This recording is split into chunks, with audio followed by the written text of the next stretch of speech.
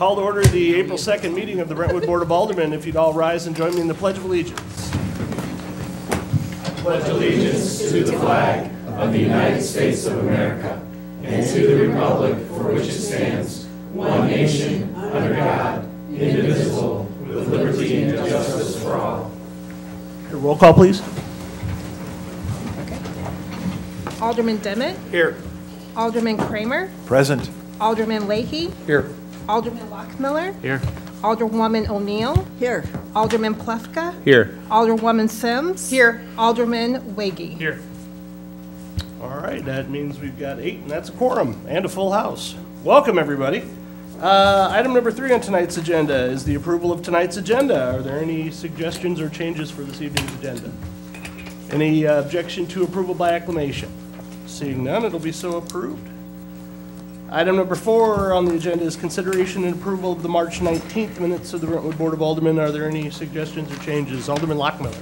On page five, under Public Works, uh, second line where it says uh, Gummersheimer, that should be Grunenfelder. Gave us the uh, items for 2018. It's a little typo. Should it be on line three, too? No, that's Yes, it it. should. It should. Nineteen. Okay, any other changes? Alderman uh, Leahy. Your Honor, I'd like to clarify, are we dealing with the March 19th minutes or the amended March 19th minutes? That's a really good question. I believe we should be I'm- looking at the amended March 19th. Yeah, well, the- both of minutes. mine say amended, so, you know. Well, there was a, a regular set that was in, the in the packet, and then there was one this evening at our place It's the amended minutes. that we should be working to. Yes. Yes. So, uh, Mr. Lockmiller, I'll ask, is your change already in the amended minutes? No, it's not. Okay. It's in both copies. All right. Are there any further changes to the March 19th amended minutes? Seeing none, is there any objection to approval by acclamation? They will be so approved. Thank you. As amended by, uh, well, wait, wait, wait, I guess that's gonna take a vote, sorry. I'll sec, yeah, I'll second his amendment. All right, is uh, all in favor of uh, Steve's amendment, say aye. Aye. Uh, Any opposed? Great. Now they're approved by acclamation, as amended. Um, All right, uh, item number five on the agenda, we have a new firefighter with us, and I'd ask Chief Curtin to come and take over. Good evening, Mayor, Board of Aldermen. Thank you very much for this opportunity. Um, As we typically do, I'd like to read you a brief bio on Don Bushdiker, our newest employee. And uh, Don was born and raised in St. Charles, Missouri. He graduated from St. Charles West High School in 1999 and attended St. Charles Community College to pursue a degree in computer science. It didn't take long for Don to realize that the thought of spending his working career behind a computer screen was not how he wanted to live. Don began his new journey to pursue a dream of becoming a firefighter paramedic and enrolled in EMT school at St. Louis Community College, and shortly after began volunteering for Lake St. Louis Fire District. Don graduated paramedic school in January of 2012 and was immediately hired by Meramec Ambulance District, where he worked for the district until September of 2017. Don then attended the 100th class of the St. Louis County Fire Academy and graduated in March of 2017. He worked briefly for the Frontenac Fire Department from September until being hired by the Brentwood Fire Department in March of 2018. Don now resides in O'Fallon with his wife Heather and their twin daughters Isabel and Gabrielle. I'd like to introduce Don and have him come on up.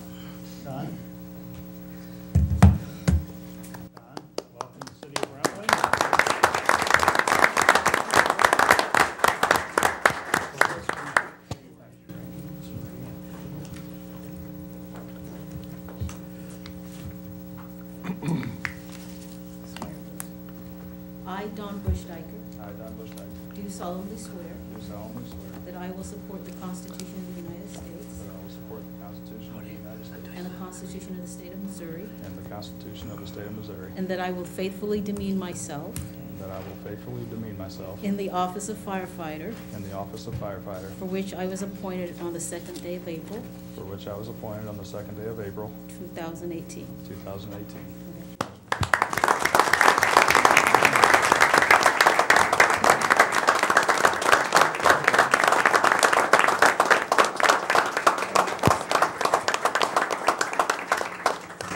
He needs to sign? Okay, very good. Uh, A tradition in the fire service is typically have a badge pinning ceremony right after a person's sworn in, so Don has chosen to have his wife Heather pin his badge on tonight.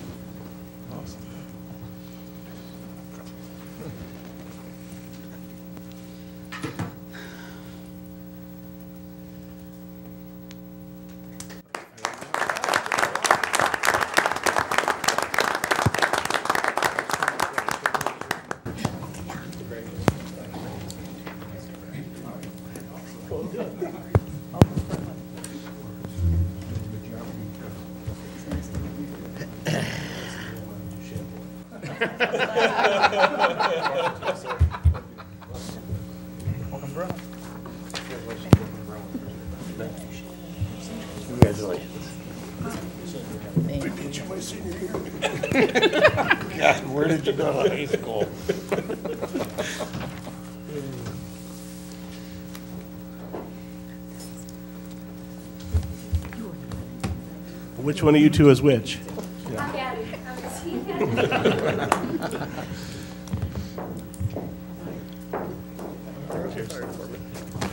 All right, uh, we don't have any proclamations this evening, and the next thing on our agenda is a public hearing. Uh, We are going to have a public hearing tonight on amendment to uh, Chapter 400, which is our planning and zoning code. Uh, Tonight's amendment has to do with a proposal to uh, amend the code so that the uh, language of our code makes it clear that short-term rentals, uh, also known as Airbnb or similar, are prohibited by the Brentwood Code, the zoning code. Uh, Tom, do we have a synopsis, or, We do, Your Honor. all right, if you would read that, please. Happy to. Technically under, this is uh, language of Bill Number 6191, the text amendments to continue prohibition of short-term rentals in the residential districts, urban development districts, and the urban development districts of City of Brentwood. This is case number 18-01. Short-term rentals are defined as rentals of dwelling units for typical periods of less than a month. Currently, our city's zoning code does not specifically define short-term rentals. However, since short-term rentals are not permitted by right and do not comply with the city's occupancy permit program, short-term rental operations have been prohibited. Our Public Works Committee requests the Planning and Zoning Development Department uh, to propose text amendments to Chapter 400, the zoning ordinance, to clarify the current prohibition of the operation of short-term rentals in our city. New definitions are proposed for short-term rentals, transient guests, and vacation rentals, which would be added to the definition section. The home occupation provisions would be amended to prohibit short-term rentals, boarding houses, bed and breakfasts, hotels, and similar facilities. The district regulations for each residential zoning district and the UD district would be amended to clarify that residential use does not include short-term residential use by transient guests, for example, short-term rentals. Lastly, additional language concerning occupancy permits would be added to clarify that short-term rentals cannot qualify for an occupancy permit. At the March 14th Planning and Zoning Commission meeting for the City of Brentwood, the commission then voted three in favor, four opposed on the bill prohibiting short-term rentals. This bill prohibiting short-term rentals then moves forward to our Board of Aldermen for consideration with an unfavorable recommendation to approve from the commission. This is included within the language of Bill Number 6191. All right, thank you. Um, So the way this works is I'm going to gavel open the public hearing. At that time, if you would like to address the Board of Aldermen on this potential change to the Planning and Zoning Code, then you could come forward. If you'd please state your name and address for the record. Uh, We'll give you a chance to make whatever comments you have, and uh, we'll take them under consideration. Uh, With that, I'm going to open the public hearing on the proposed amendment to Chapter 400. If you'd like to address the board, come on forward. Sure.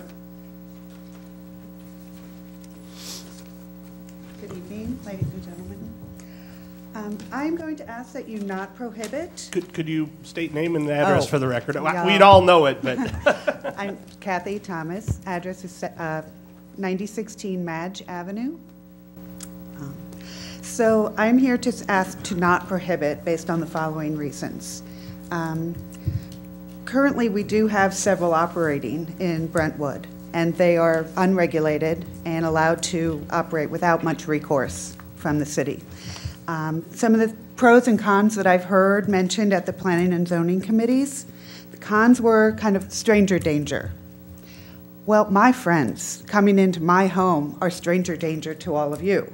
You have no way of, of a background check at all. Whereas at least with the organized websites such as Airbnb, VRBO, HomeAway, there is some modicum of a background check. My friends coming to stay in my house, nothing. So I like that there is that bit of regulation. Um, loud and disrespectful guests. Again, the city has very little recourse, whereas if we put the regulations that P and Z is um, handing down, I don't think they're discussed at this meeting. No, actually, the, so the proposal on the table, just to be clear, is the text amendment to prohibit. So uh, if, if the, if the board would act not to uh, take the recommendation and include this in the code, then it would be prohibited, right? If the board does not take up this bill, if the bill does not pass, then the code remains prohibited, but un, not as clearly prohibited, in which case I'm assured that the Planning and Zoning Commission will be forwarding us a potential change to that, so. Uh, And they, have right. Yeah, yeah, of course. Um, So with the loud and disrespectful um, guests that people are complaining about now, right now, there's no recourse. With regulation, if you vote to not prohibit, um, with regulation, you can monitor these, fine them, and revoke the license to operate if it continues and it it goes unchecked. Uh, The third, uh, well, the transient, people keep calling these transients, you know, the people who stay in these Airbnbs. I, I, for one, have used them, I- and I know that several of you on the board have, and some people in the galley, what do we call, people behind me. Gallery? I was trying not to say it, because I'm part of it. Uh, So in, all the research also shows that having these in the town increases property values. As a business owner, there's, there's research, I'll, I'll share it with you if you want. Um, As a business owner and not speaking um, officially as a board, board of director on the Chamber of Commerce, it just makes sense that more people coming into our town equals more money spent here, and there is research to support that as well. Um, And also positive exposure for future residents. People do come here looking at homes and need a place to stay while they're, and want to experience the neighborhood that they, they are looking in to buy. All right. Last thing I wanted to say is the state is eventually going to pass this. And I know that it- this issue has been visited by, well, at least P&Z. I don't know how often you all have visited this. But why not go ahead, stay ahead of the ball, and get this done? Because eventually it is going to get passed by the state. So we might as well have our regulations in place so that we can regulate and monitor and revoke licenses and, I mean, big fines if you're operating without after you've had one revoked. So, um, and once again, I ask you to vote to not prohibit the, uh, the bill. Thank you. Thank you. Would anyone else care to come forward? I see Ms. Smith making her way to the podium. Karen Karen Smith, I live at the Harrison Motel. Um, I know the bill before you that you have tonight is to prohibit the Airbnbs, um, and I also know the P- P- Planning and Zoning is also working on, on a bill that would allow them, but with regulation. I know that I'm swimming upstream because this is a very popular um, hotel motel option, um, but I'm against allowing them because they don't achieve the goal of what our residential zones um, you know, want to accomplish. And I think some of the um, uh, verbiage on the first page of the ordinance um, kind of summarizes that nicely. You know, that they're recognized by courts that the residential character of a neighborhood is threatened when a significant number of homes are occupied not by permanent residents, but by stream of tenants staying a week, weekend, a week, or even 29 days. Um, Has some other verbiage, but then later says rentals undoubtedly affect the essential character of a neighborhood and the stability of a community um, that here today, to- gone tomorrow, um, uh, kind of nature of them. Um, So they, the prohi- prohibit, uh, prohibiting the short-term rentals also ensures access to the city's finite housing stocks for those wishing to reside in the city full-time and contribute to the stability of the community. And I do believe that, it- that that what uh, those words represent are, are true. And I know I'm swimming upstream on this. Um, It's, you know, it's popular, I know, for many, many people, um, and they are great until you have to live next door to them. Um, and the neighbors that live around me, and they all say that these are very popular with the younger generation. Um, but the neighbors around me are, several of them are young, and they couldn't agree more. They said, you know, I used to love staying in these, but I don't when I have to live next door to one. Um, Some on planning and zoning have indicated that my neighborhood is perfect because of the size of the homes. They're two-bedroom bungalows, but I really actually feel that there's opportunities for all sizes. There are some corporations that bring in teams of individuals, and having hou- housing stock west of high school will be just perfect for that. And if we do that, believe you me, I'm going to start promoting it. Um, I understand that Airbnbs have um, a self-correcting feature through their rating systems, which screen out people, but you will find that there are many um, issues with it. It doesn't catch everything. Um, And we just, we're going to need to be able to have a way to um, enforce if we do allow these. Um, And because I, you know, the problems do arise. They also say that they contribute to our community by shopping here, um, and eating in our restaurants, but so do the people that live here and, and, and are full-time residents. Um, Also, if, um, I don't believe these people that will be staying in the short-term rentals will contribute to our schools. Um, They don't serve on our committees. They don't know our ordinances. Um, We've had, we had one operating across the street from me, didn't really observe the parking, and the police, I know, went, went up and down the street numerous times, but they were never ticketed. Do our police have time to be stopping and writing tickets and checking out the Airbnbs every, you know, every day to make sure that they're following the ordinances and of, of our community? And that's really not the role of what the police is supposed to be doing. They're not supposed to be regulating in, in that way. Um, They don't follow our occupancy, uh, you know, they have many more people in, in there than, uh, uh, is allowed by our occupancy rule, rules. Ho- The hotel and industries have staff that are on-site 24/7 that deal with issues that come up. If you're a resident, or if you're a person staying in a hotel and the person next to you is loud, um, or there's issues with security, you can, those are dealt with. And I'm not sure, you know, they've talked about having, um, you know, some sort of management company, but, you know, there is no um, you know, 24-hour service that is actually responsible for those Airbnbs. Um, And I guess I would end, um, well, one other thing to say in regards to if we move into more of the regulations instead of prohibiting, I do wonder if our staff will have the staff to actually regulate them. And I guess each, of I guess I would ask each of you to think of whether you would like living next to one of these establishments and how you would like your kids living next to one of them. Thank you. Thank you.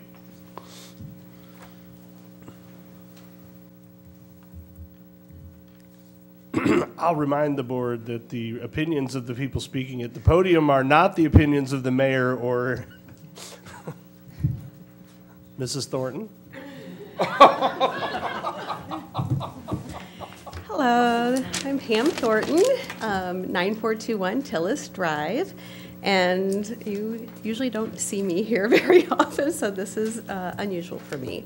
And we don't always have the same opinions on things, and that's how come I wanted, sometimes I keep my mouth shut because I feel like I have to, but sometimes I just have to speak out, so here I am.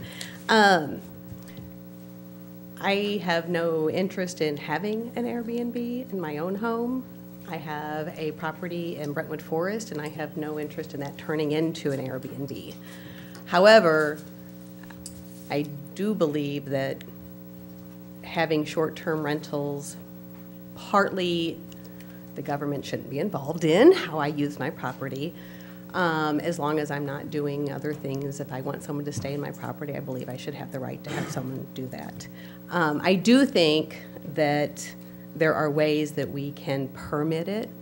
Um, It's hard to enforce whether you have Airbnb or not. We don't have the staff to say, um, to find out if someone has an Airbnb and we've, we've already, it's against regulation. So if someone's hosting one, we'll never know because unless someone complains about it, no one's going to know about it. Um, So there's no way to enforce it one way or the other without having a lot of time and energy into it. So I would just ask that we not change the text to prohibit, that would prohibit it, for positive, but to look at ways of regulating it. Um, I think even St. Louis City is looking at ways to permit the process and maybe set up different categories. So there's a lot of different categories of um, short-term rentals. You rent your whole home all the time on a full-time basis. You rent a room out of your home Because you have extra money, you have an extra room, more like a boarder in your home. That's been happening for ages. That happens all the time. It's just now there's an easy access that you can find it online to find out where those are easily available. Um, and then also, every once in a while, you're going to be out of town for a month and it just happens to be the month that the Super Bowl is going to be here. Okay, rent your home. I mean, that happens all the time. Other places, now there's just another way to do it. So there's a lot of different categories. As an insurance agent, I know State Farm is just now addressing that issue. They finally changed their policy and made things to look at on it, but they've taken their time. It's a changing and evolving industry. Um, and I just think that Brentwood could be on one of those areas where we have to keep up with it. It's like Uber, it's like Lyft. It's going to be around. Let's embrace it. Let's make it work for us. Let's use it to our advantage. I agree with Kathy on everything she said earlier. Thank you. Thank you. Isn't she cute? Anyone else care to address the board? Mike Horton, 2527 uh, Kentland Drive. I'll go ahead and even it up, two for and two against.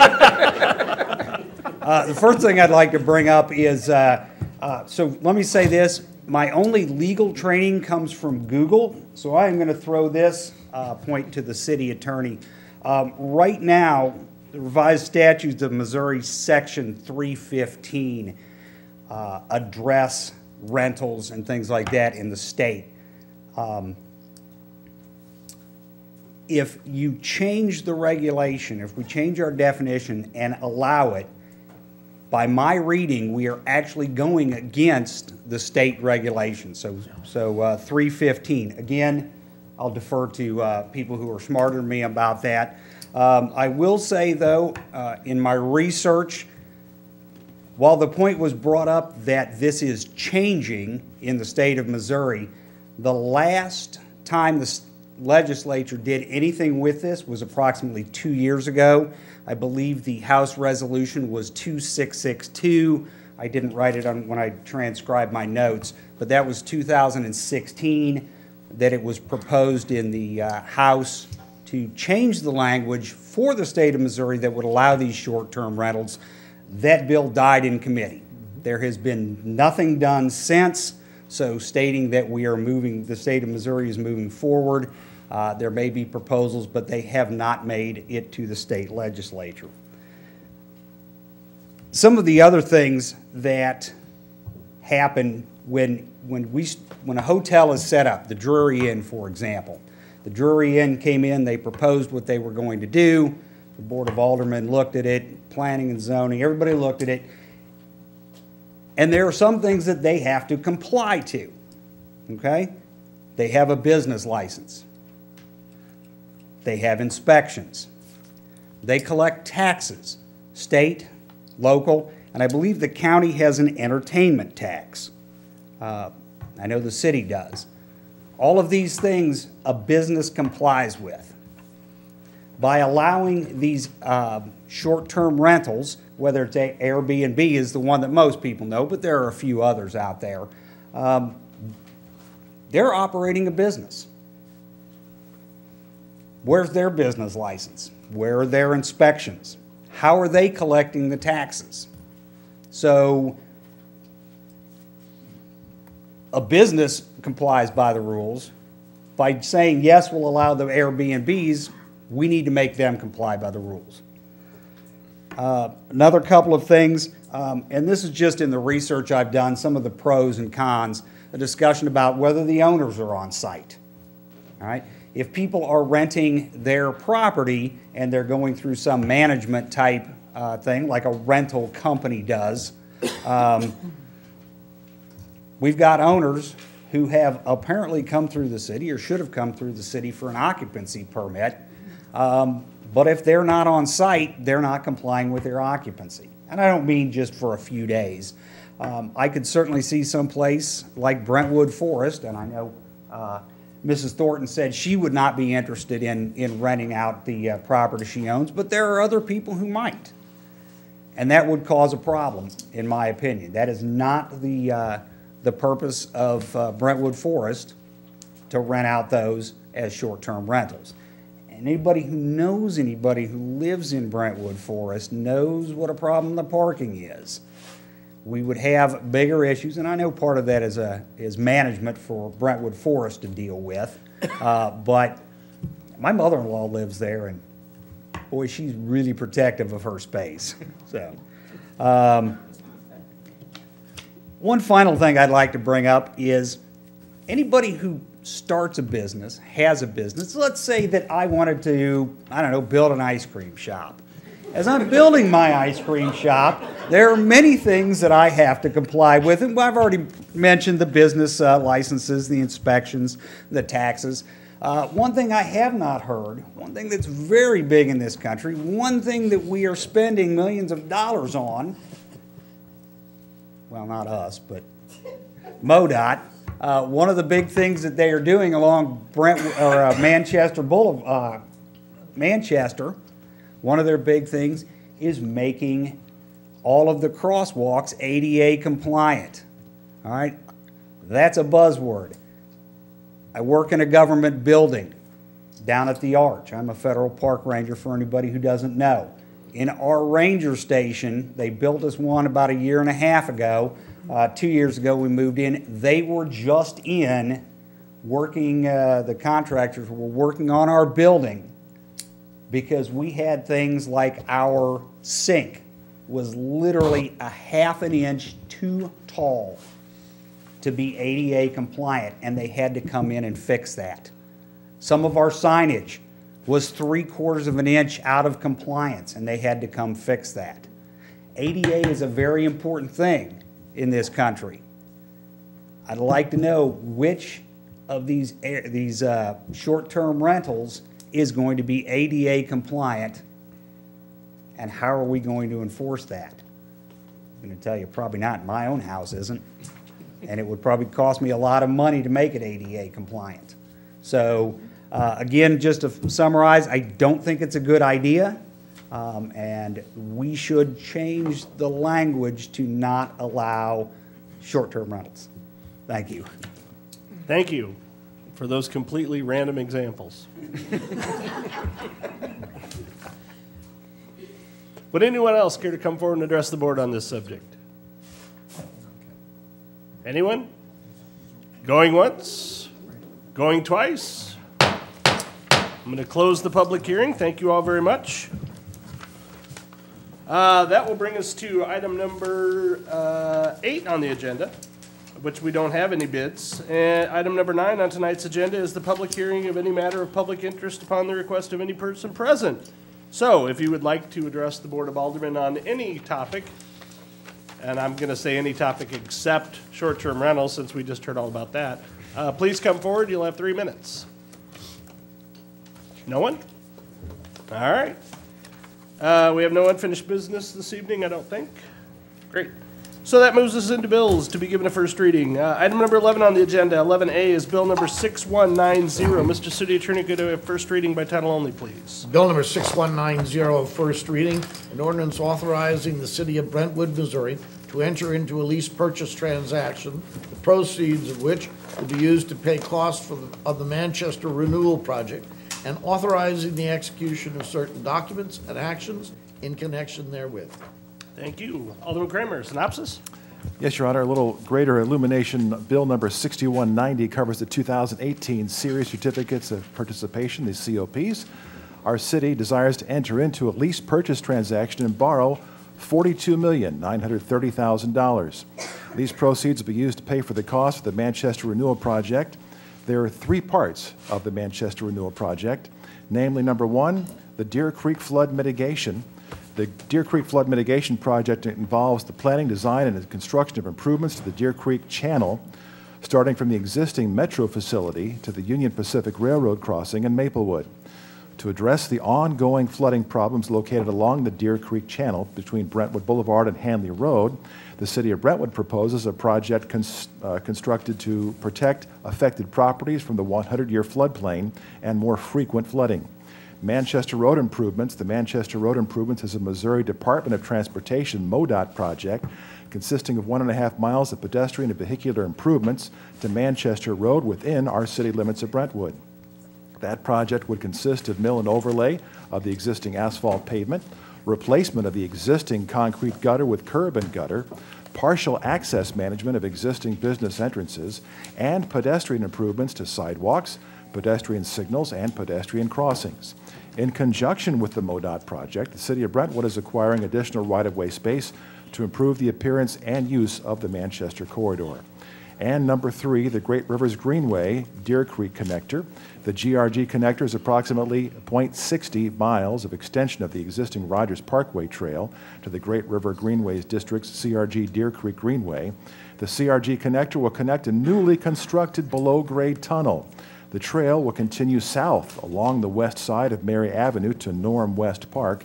Continuing south past Norm West Park, users will utilize the approximately 1,200 feet of pedestrian bridge to traverse across the Union Pacific Railroad and Deer Creek terminating at the trailhead along the Deer Creek Greenway. This project involves the planning, design, and construction of a connection between the city of Brentwood's Rogers Parkway and the Great Rivers Greenway's Deer Creek Greenway.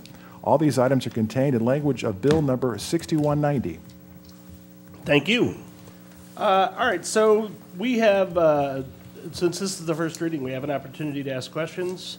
Um, What I'd like to do is, is give everybody a chance. Uh, I think there probably will be a few. Um, We're going to kind of tag team them, though. So uh, I- what I'd like you to do is ask your question not to anybody specific, address it to the chair, and then hopefully I can find the right person in the room to address the question.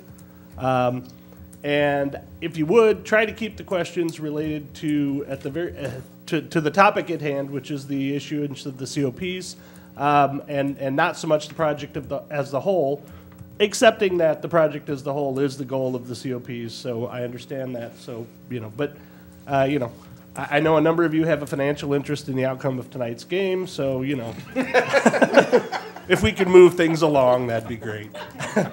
Kathy bet her entire re- retirement on Michigan. Uh, anyway, uh, so are there any questions from the board regarding Bill 6190? Alderman Plufka.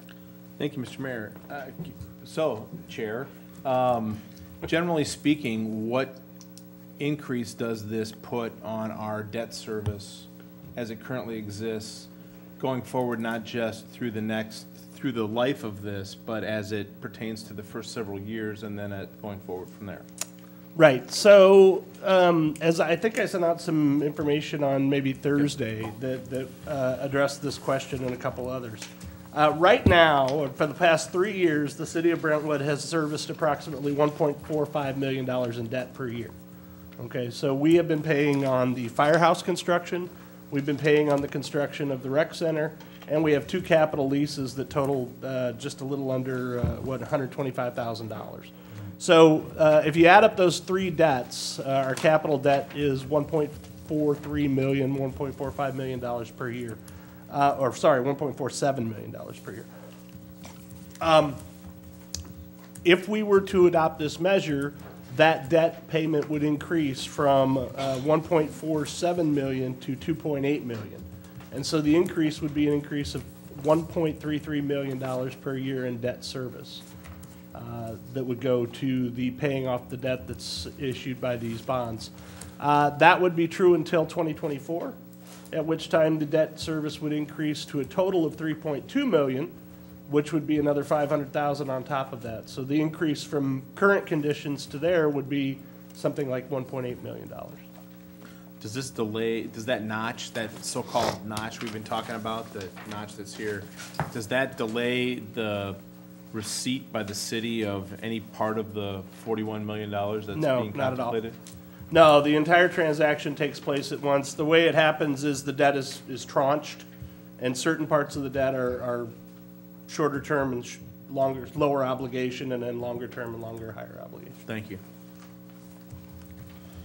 Okay. I'm looking at the financial guys to make sure I, I tend to say things in simplistic terms because that's how I think, but, uh, you know, uh, they'll correct me if I got it completely wrong. Alderman Dimmitt. Mr. Chairman, thank you. Uh, I believe everybody on the board has an email that I sent out this afternoon And Uh, yeah. thank you to, uh, to Bola and the rest of the staff for getting the answers together so quickly. Uh, It answers a lot of my questions, but I still have just a few. So, following up on what Alderman Plufka said, I appreciate the, um, the explanation to uh, our debt service and our total debt. Is there anywhere in the, in the documents that we have in front of us that spells that out?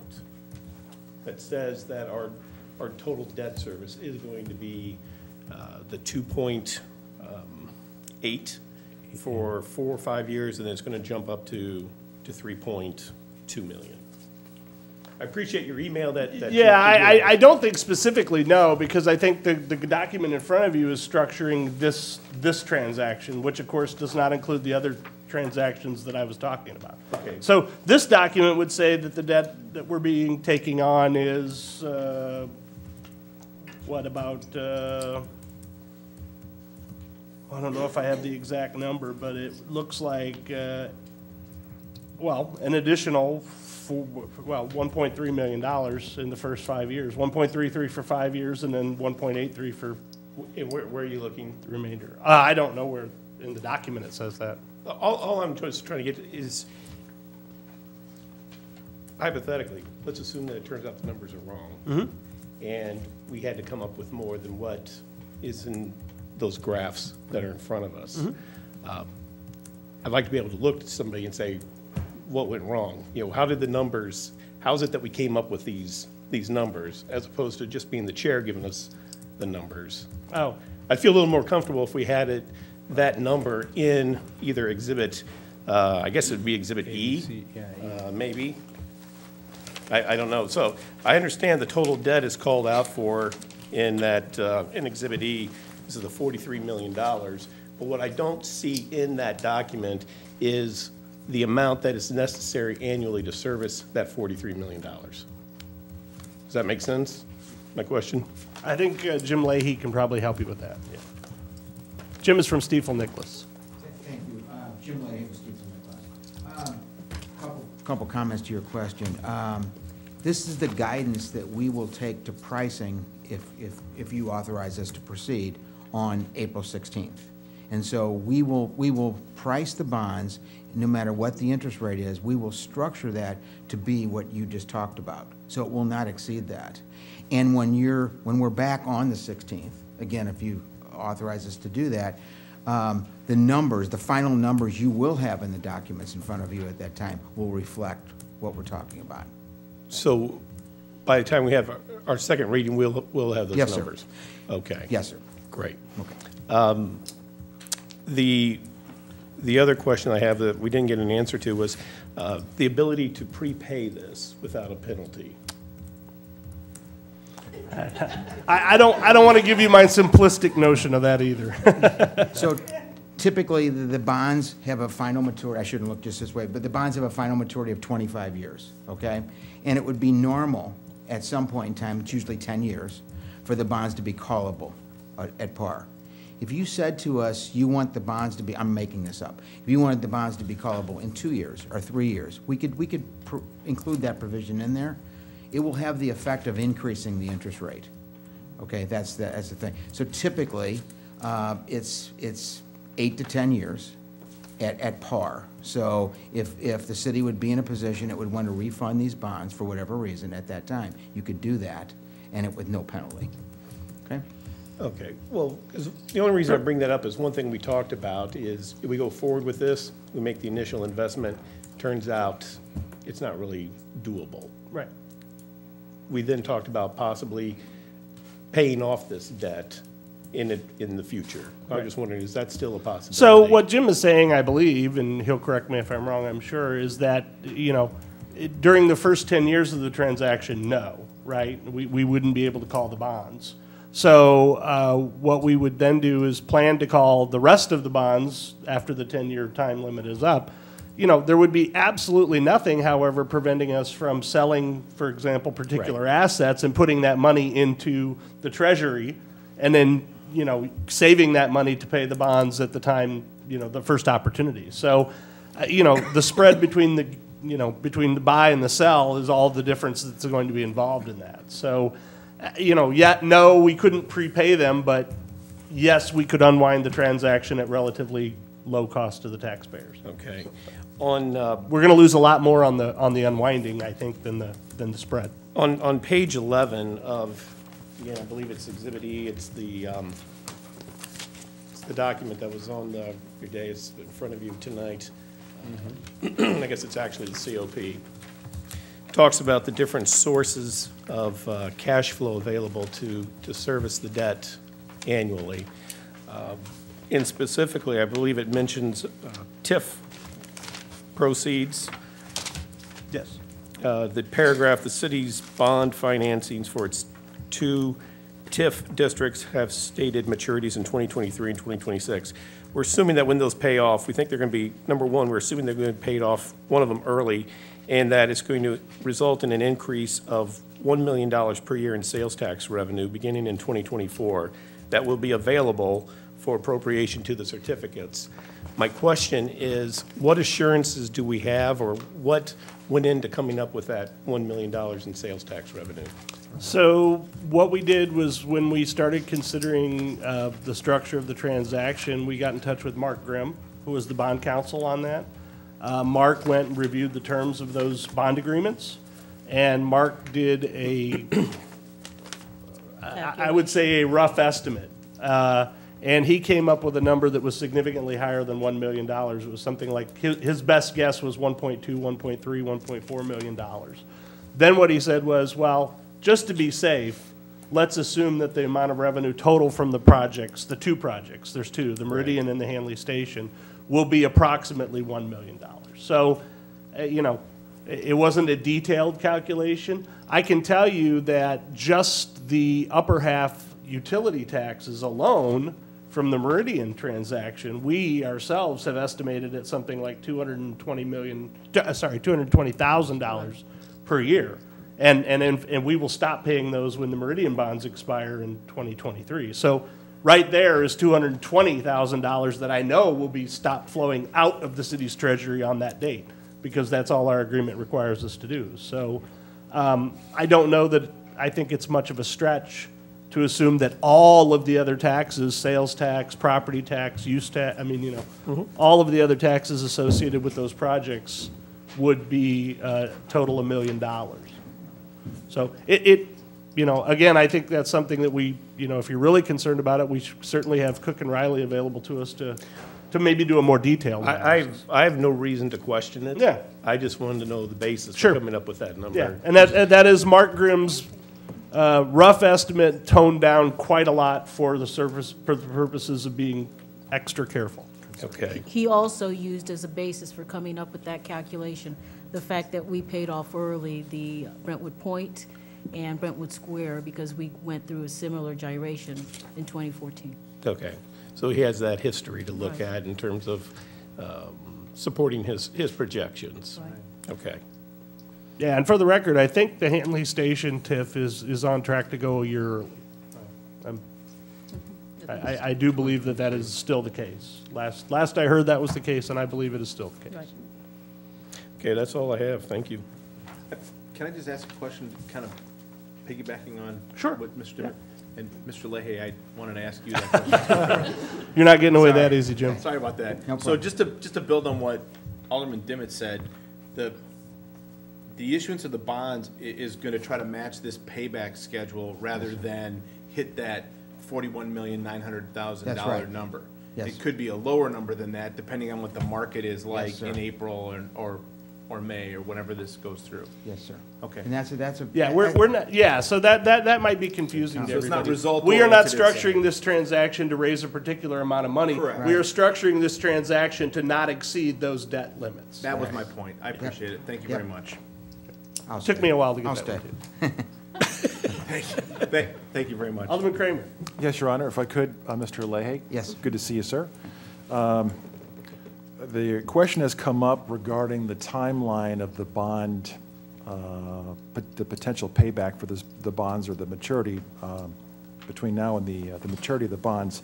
If an interested party ideally would come to the city and profess their, um, uh, their desire to, to uh, take on a part of that area, whether it's before, during, or after this, the project timeline that we're financing, and want to commit to the city, uh, for example, their um, design plan or, or want to implement something that we found favorable, um, a development, for example, what are the, what are the mechanics of, of us being able to assign to them or have them take over a part of our, of, of the bond issuance in exchange for them getting uh, a, a portion of the site, for example, that we're taking out of the floodplain? Does that make sense? Well, I don't think they would take over a, a portion of the bond issuance. Okay. Okay, the, the- the, this debt is gonna be out there. Now, what you're talking about is, is a development that would occur within this, with this, within this project area, right? And, and assuming there was no public assistance to what they were doing, right? So there would be no TIF or no, no, we have to assume that in your question. Um, that would be, and they would do that development, that would mean new money's coming into the city, right? through, through sales taxes or property taxes.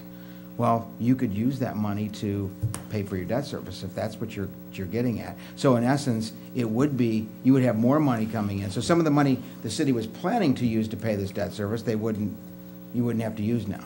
Does that make sense? Is that, am I answering your question or not? You are, and you did a great job, I appreciate that.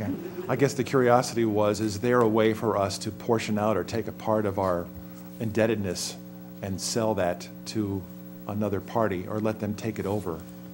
Um, Not too different from an assumable loan. That's not the way the, uh, go Yeah, ahead. I- We don't have the right vis-à-vis our, our creditors to substitute another payer. We do, however, have a right to enter into an agreement enforceable by us with the other party that says you will pay us X dollars that we will pay toward this debt. If we. I see. If we choose, and they choose to enter into that. Yeah. We cannot, we cannot shift our responsibility to our lenders Okay. for someone else to pay. Ultimately, we're the borrower, and, and the people are buying the debt because of our credit worthiness and all that. So we couldn't literally assign the debt, but what we can do is we can enter in an agreement with somebody to say, hey, we are going to, by contract, commit you to paying us a certain amount of money, which we're gonna turn around and pay towards this debt. And then legally, they are obligated to pay to us. Effectively. Right. So we become the straw man for the money, and that is absolutely doable, and, and I think. Well, and, and of course, the- the value of that depends on the creditworthiness of the other party. Right, right, right, And right. what security there is for that and what motivates them to do it, so. Okay. That's highly speculative. Okay, thank you. Alderman Lockmiller. Uh, Mr. Lay, Yes, sir. we're a double A minus rated city. How- Actually, you're a double A rated city. These certificates would be rated double A minus. Okay. And what's that based on? How does, it- what do they look at? I'm, I, I really appreciate you bringing this up, actually, because, um, I- you know, it, it- you don't, maybe don't have perspective, and I don't mean that No, ba- badly, but, but you don't deal with this stuff every day. So, so I, I- I'm just here to tell you that receiving a double A rating, which is, a- which the city is, is a heck of an accomplishment. I, I don't have the, the percentage of, of cities throughout the United States that are in that category, but there are very few ahead of you, okay? Cities and counties. There, there aren't many, St. Louis County happens to be a AAA, the state of Missouri happens to be a AAA, okay? But there aren't many, if we took cities in St. Louis County, there, there will not be, but maybe just a few that would have a higher rating than you. But your question was, what are they taking in consideration? They look at everything. They look at your, they look at all of your financial documents. They look at everything that's out there. They compare it. They have, they have models that they set up. And they want to see what your reserve policy is. How many reserves do you have? How do you contribute to your reserves? How do you deal with unexpected expenses? And I will tell you, we, we spent a lot of time talking to them, but uh, honestly, the mayor, Bola, Karen Shaw, the, the, the city finance director, spent a lot of time answering questions and, and, and and put them in a position where they, and they have no allegiance to Brentwood. I mean, they're an independent, think of it this way, they're an independent entity that rates this, rates these, these, these, um, these, uh, this debt and the city, and they come in and they take all those factors and they come up with a result. And, uh, uh, It's always nerve, to be honest with you, it's always nerve-wracking for us, because we want to see you get the highest rating you can. The higher the rating, the lower the interest rate. So, Is there a typical range then, this interest, when you go to market, that you'll be looking at as an interest rate? Well- If we're a double A? I'll give you, a- I'll give you a sense of what we think it'll be, okay? But, I mean, honestly, you don't know until we get into the market. You, you really don't. And uh, I can't say there's other double-A credits like Brentwood out there in the next couple of weeks, so I don't have perfect comparisons to do it. But what we do take, we take a, uh, it's called the Municipal Mar- Market Data Index, and it's a compilation of bonds and certificates that are issued throughout the United States and there's a scale for each year, okay? So based on that and based on our experience with Brentwood, here's what we think, just to give you a sense of the yields. We think the, the yields on your, keep in mind, we got 2019 through 2043, right? That's 20, that's the 25 years. So I'll just give you the quick range. I won't read every year. But we think the yield in the earliest year will be somewhere around 170. We have 168, I'm just rounding to 170. And then the longest, the longest year, 2043, we expect it's going to be somewhere around 380. That would be the yield, okay? So those are good rates. I mean, interest rates are going up. I don't mean this week or next week, but, but in the coming weeks, in the coming months, the interest rates are going up. So I'd like to think we're getting in at a good time, you know, ahead before that, before that happens. So. Thank you. And Jim, isn't the quality of the mayor and the board of aldermen considered? Boy, are I mean, we It's very trouble with me. extensive, right? I- Compelling. Yes, sir.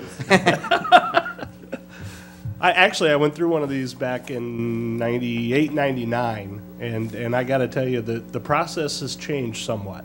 Uh, they were much more, um, in-depth than they were back in 99.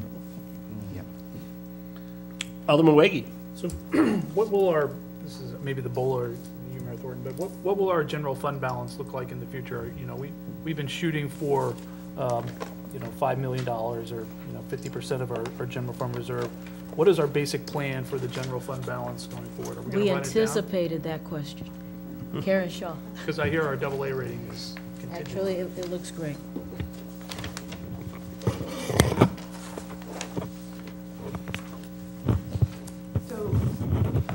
As we were talking about this afternoon, um, this is going to come from the, the, the uh, payment, debt service payment, the additional debt service will come from the capital improvement fund.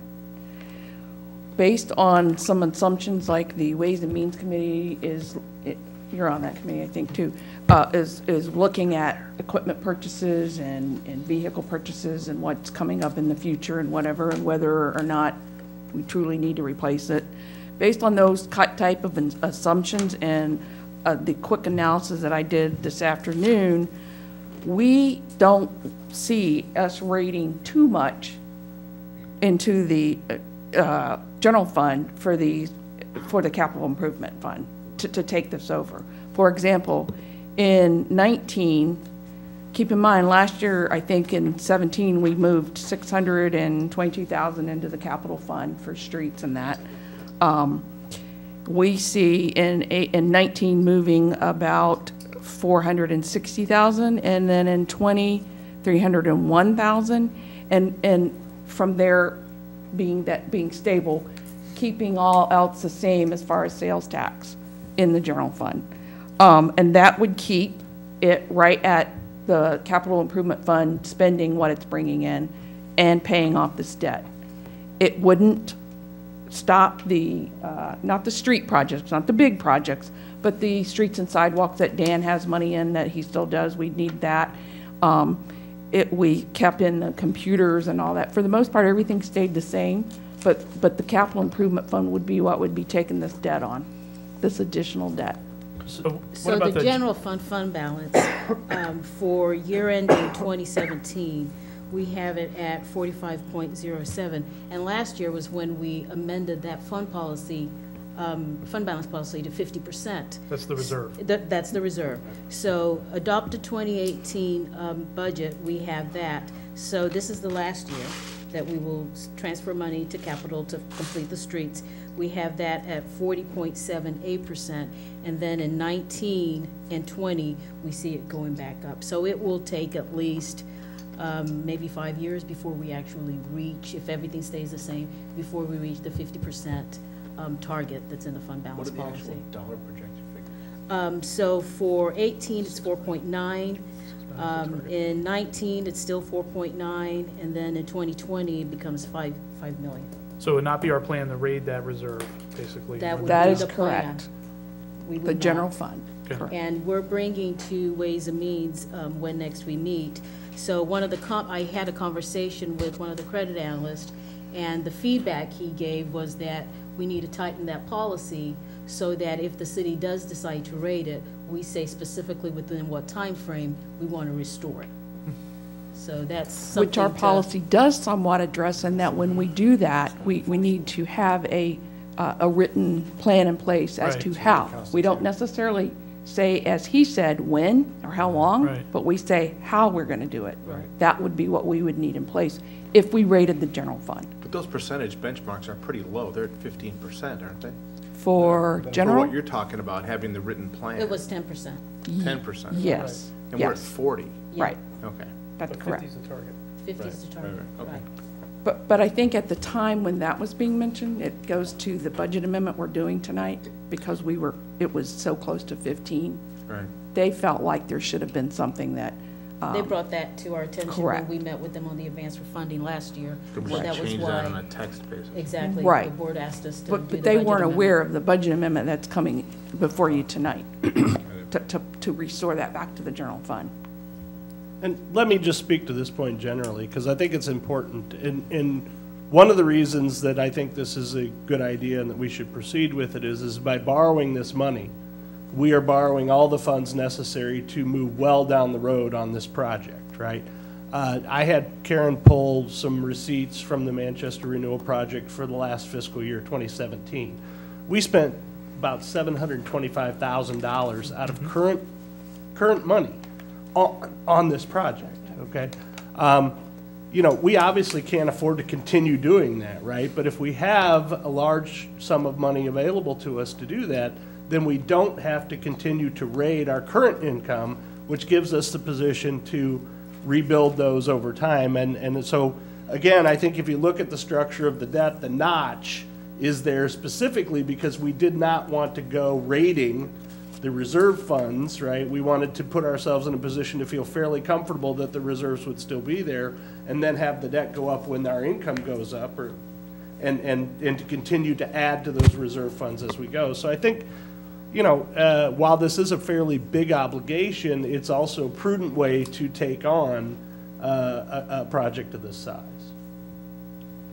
Because it allows us to do it without going down to the wire, right? So, but, but the additional four hundred thousand dollars of debt service that's anticipated between year twenty twenty-two and twenty twenty-three, we don't have any articulated plans at this point for how to, how to come up with that additional four hundred thousand dollars. Other than the fact that the TIFs will roll by then. The, the TIFs at Meridian and the TIFs at uh, Hanley Station. Correct. Okay. Okay. One more question. Thank you.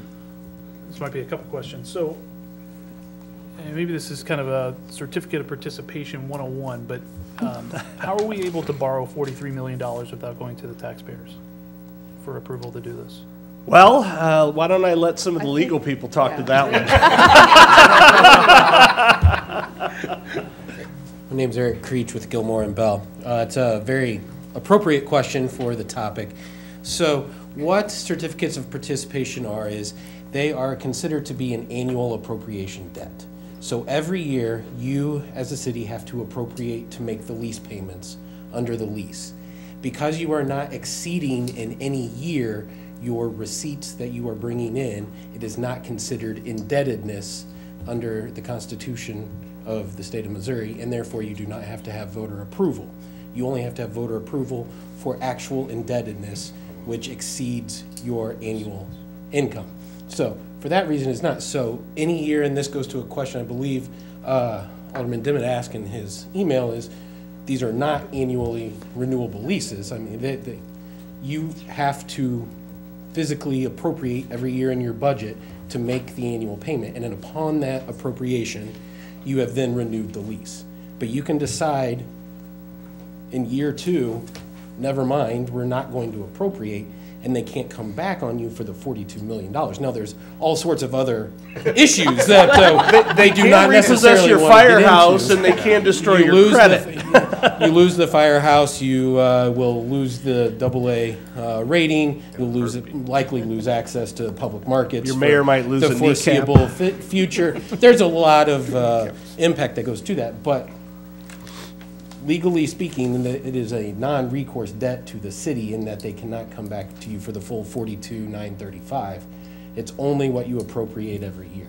So for that reason, uh, that's kind of a long-winded answer, um, but as you can see by the stacks of papers in front of you, it's probably, you figured that's what you were gonna get. But that's why it's, it doesn't have to go to the voters, is because it's annual appropriation. And the actual mechanics of this, I mean, in gross simplification, is that we are basically, you know, renting out, you know, I'm looking at the Schedule One, which has some properties listed. Are those the total properties, and are those the firehouse and the city hall? I mean, we're basically It's just the fi- temporarily it's selling just city the hall. Just the firehouse. Just the firehouse. We're just So- leasing out the mean, that's firehouse.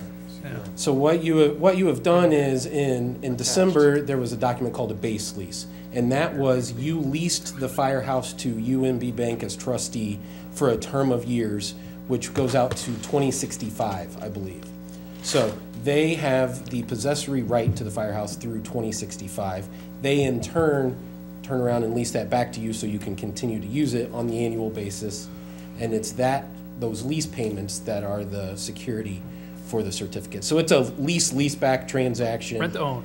Rent to own, but at the end, you never lose fee simple title of the firehouse. You just lose access to it if you should not until 2065. But at the end of 2065, you get it back, um, whether or not the certificates of participation were paid off or not.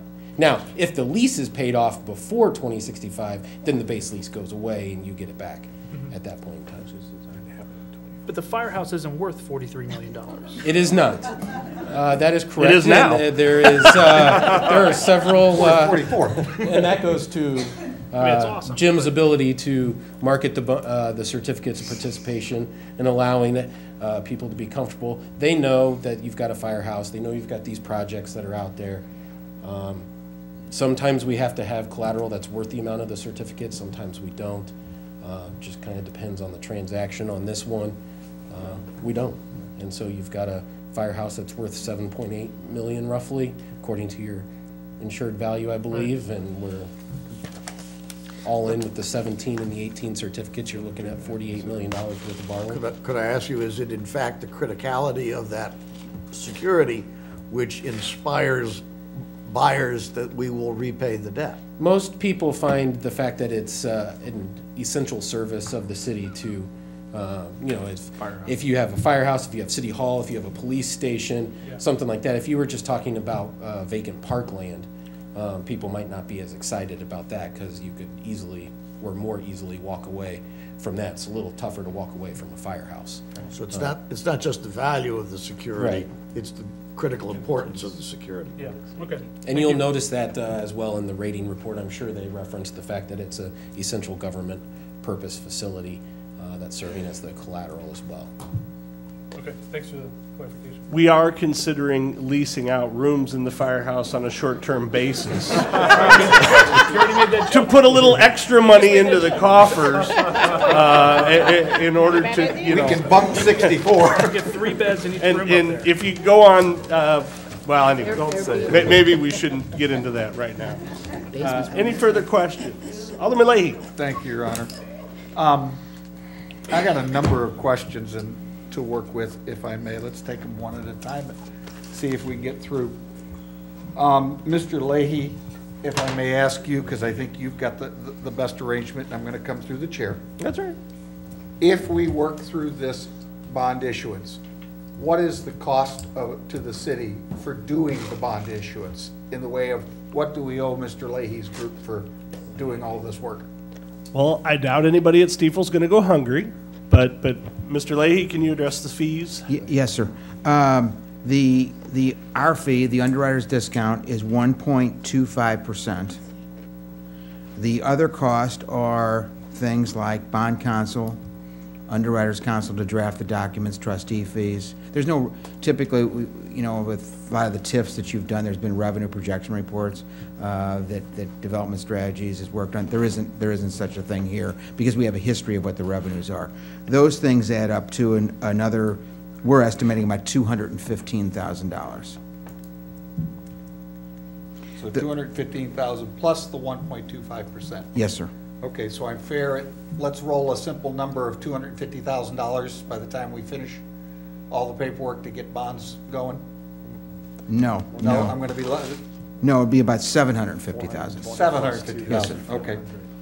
Um, through the chair again, but I think, uh, Ms. Might be able to help us. When we ran the online sales tax distribution through the state, I believe the state cost us ten thousand dollars to do that election. That's about right. So we spent ten thousand there, we're spending about seven hundred thousand if we do the bonds.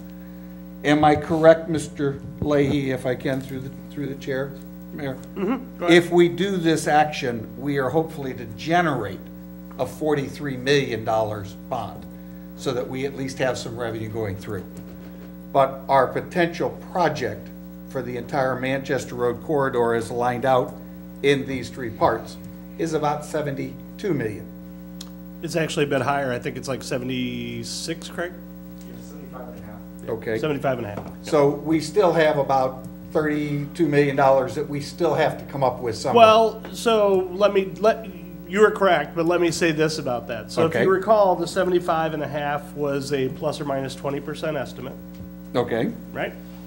So, and um, that also did not take into account the 4.1 million we've already been given as a grant, yes, right? That also did not take into account any of the commitment that GRG had made, or has made, and will hopefully make in the future.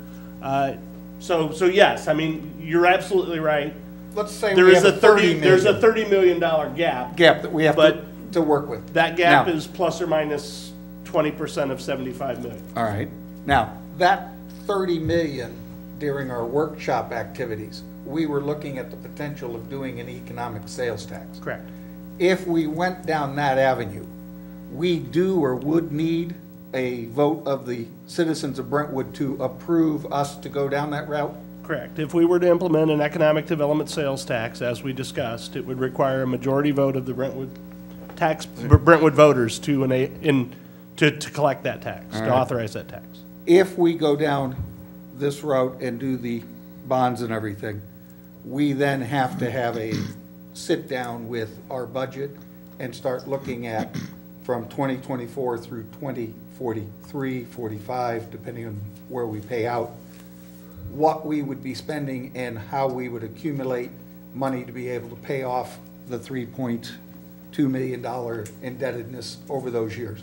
Yes. So we would have to work through some of the- those issues to work it. It is my understanding of the project and where we're headed with it. I'm in agreement with you that it needs to get done. It's the only way to develop that corridor. If we develop the corridor, we bring in hopefully a potential new corridor of revenue of sales tax, which improves and allows the city to form and provide services, and we don't have to go to the voters to add a property tax. So there's a benefit to the city to get this done. My concern and what I have here is the way we're approaching it. I think it is in the best interest of this board and the city of Brentwood that before we get so far pregnant to go down, that we actually go to the voters and ask them if this project and the economic sales tax is justifiably a high enough a priority on their end that we indebt the city to go the long term.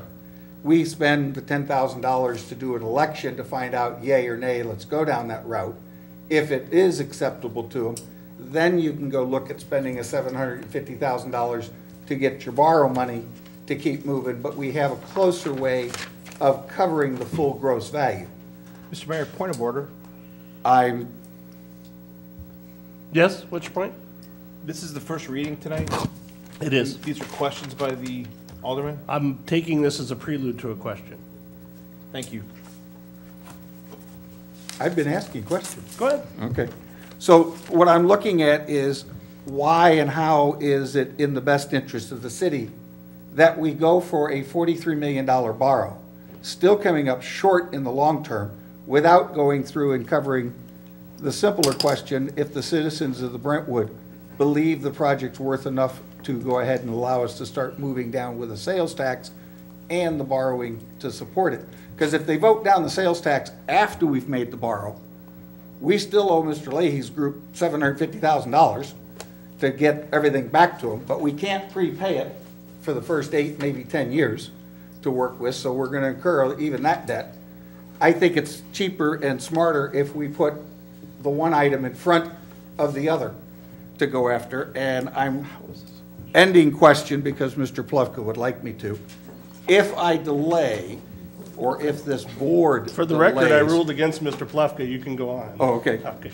If we delay running into quickly borrowing the 40, the bonds and borrowing the 43, what does that do to us if we come back a year from now to work through the indebtedness of borrowing and buy us the time to go to the elective? Let me just first say, is it okay, Mayor? Okay, Sure. Um, So, let me just first tell you the schedule that we're on, Mhm. okay? And then I'll, I'll I'll get to your question, but I think there needs to be an understanding of that.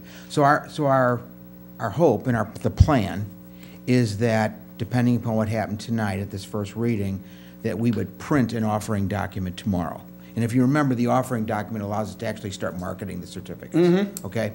And then we take the next two weeks to do that, and as Alderman Dimmitt asked earlier, on, on April 16th, two weeks from today, we would actually price those certificates, and we'd have, and you'd have the net proceeds, let's call it 39 million for your project, okay? And so you would have, you would have expended, in your comment, you would have expended 750,000, that's true, but you'd also, you'd have 39 million dollars towards your project, Mhm. okay? Your question, though, is if we, if we don't do that, we delay this, the city decides to delay this, and, and there, the mayor and others would, should, should address this, but I just want to comment from my, from my perspective. So, you would know the seven hundred fifty thousand, that's for sure. We, we're not, we're only compensated when we deliver the final result, okay? So you don't owe us anything. Um, I can't They're- speak for the other. They're sort of like uh, Brown and Crouppen, no, no fee unless you win. I haven't often been compared to. Whatever. I'm a lawyer, I meant that in a perfectly favorable way.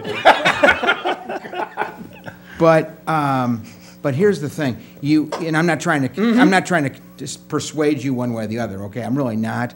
But waiting a year, as you, as you Mhm. suggested, is one thing we can almost rest assured is interest rates are gonna go up. I Okay. mean, I'm, I'm telling you, interest rates are gonna go up. They're start, they've started to go up.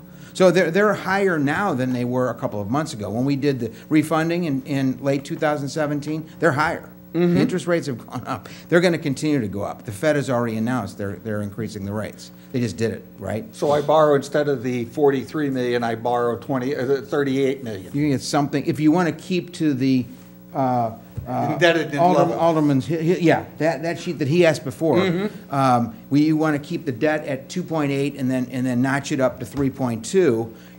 Interest rates are going to be higher, so you're not going to get thirty-nine million. You're getting something less than that. Okay. Okay?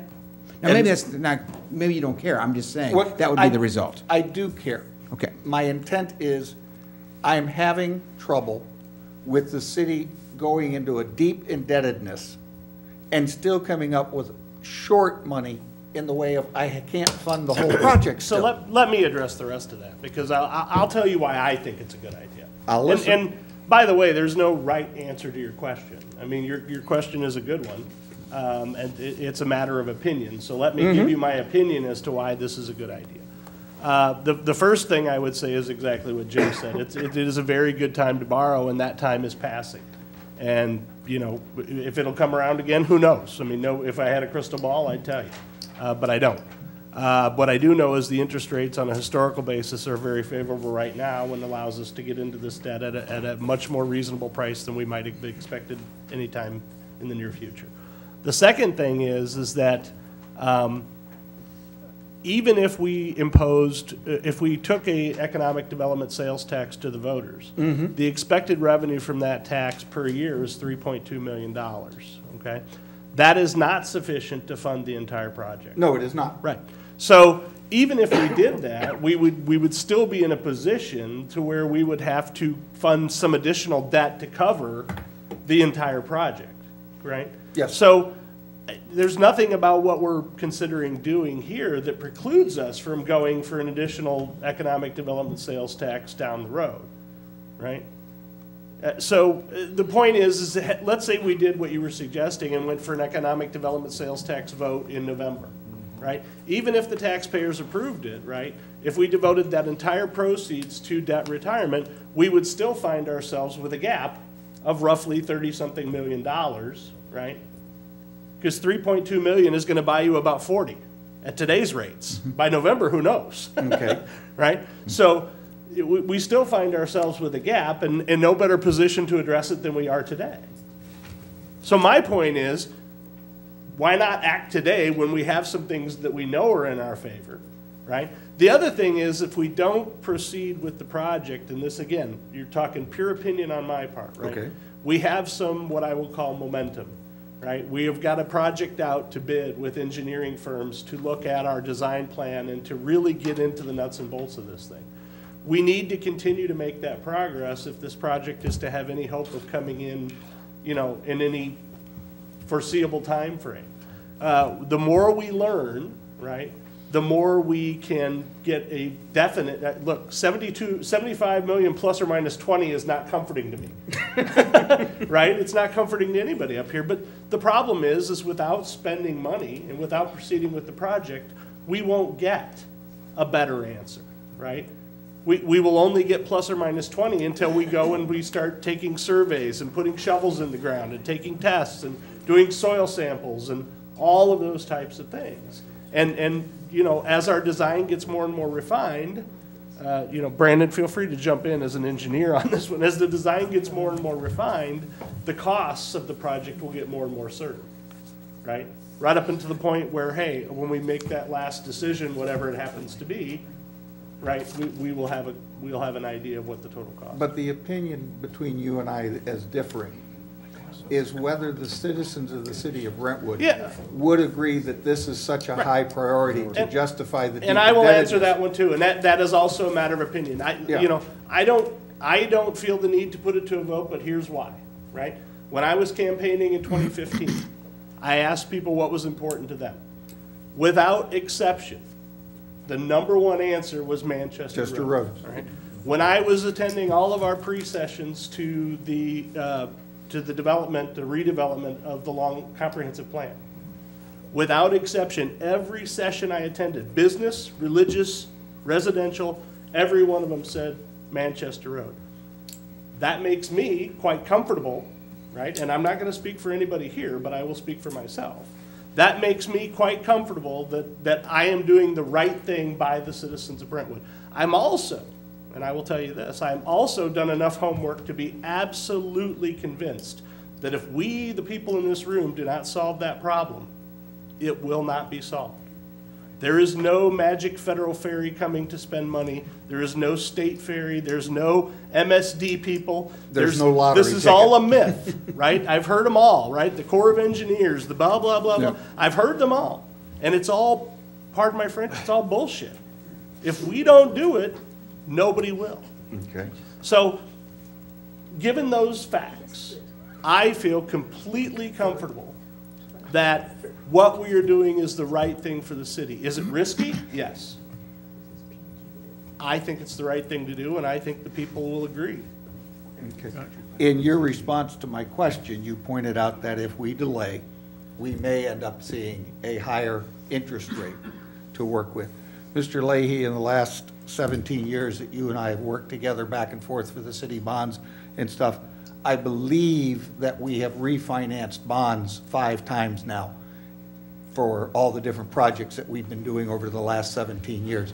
And each time that we refinanced those bonds, we were able to lower the interest rates that were out there. And yet, it was always a good time to get in because we didn't want interest rates to go up, and we looked for ways to drop it down.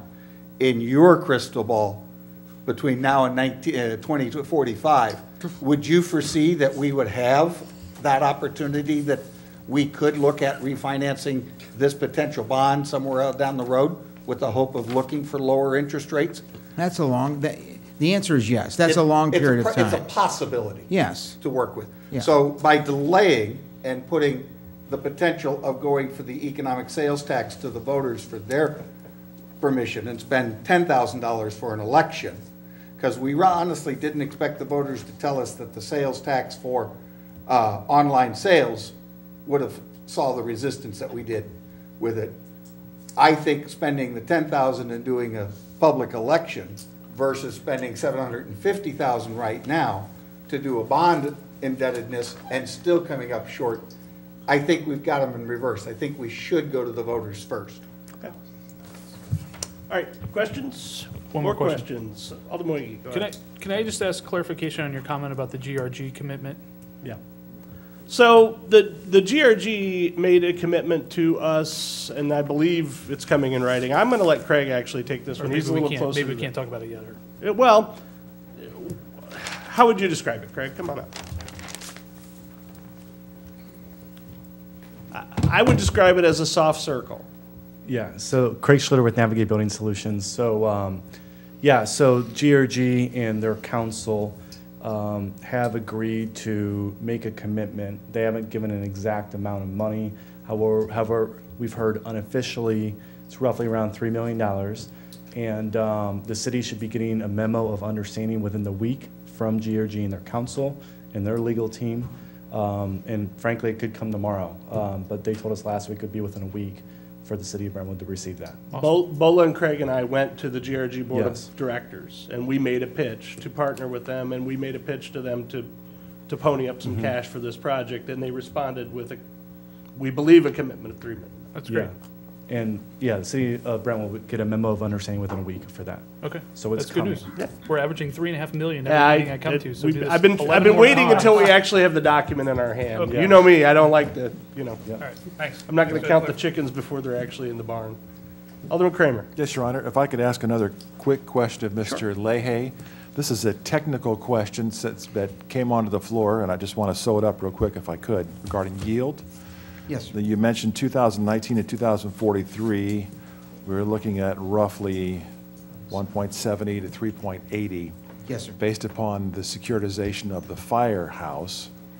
If we were to have, by some miracle, a larger amount of pledgeable assets, or totally pledgeable assets for that amount, would the rate change that measurably? No, it's based on the rating primarily, the double A rating, so I don't think it's going to change the rating.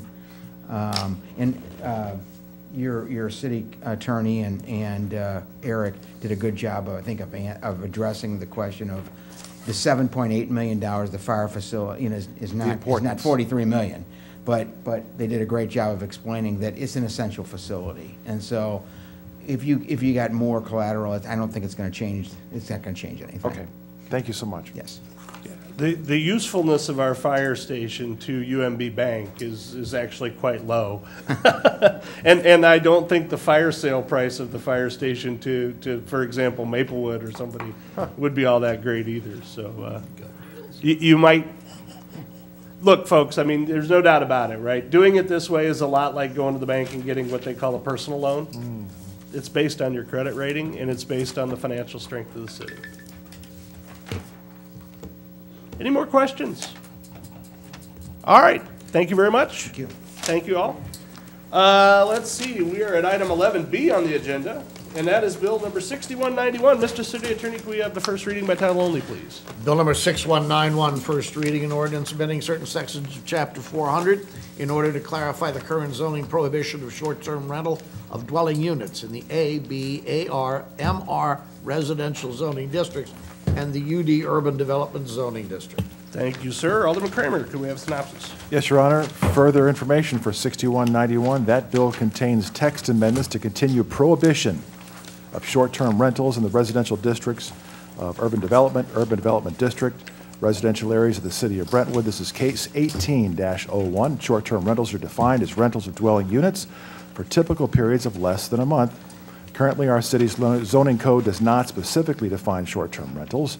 However, since short-term rentals are not permitted by right and do not comply with the city's occupancy permit program, short-term rentals operations have been prohibited.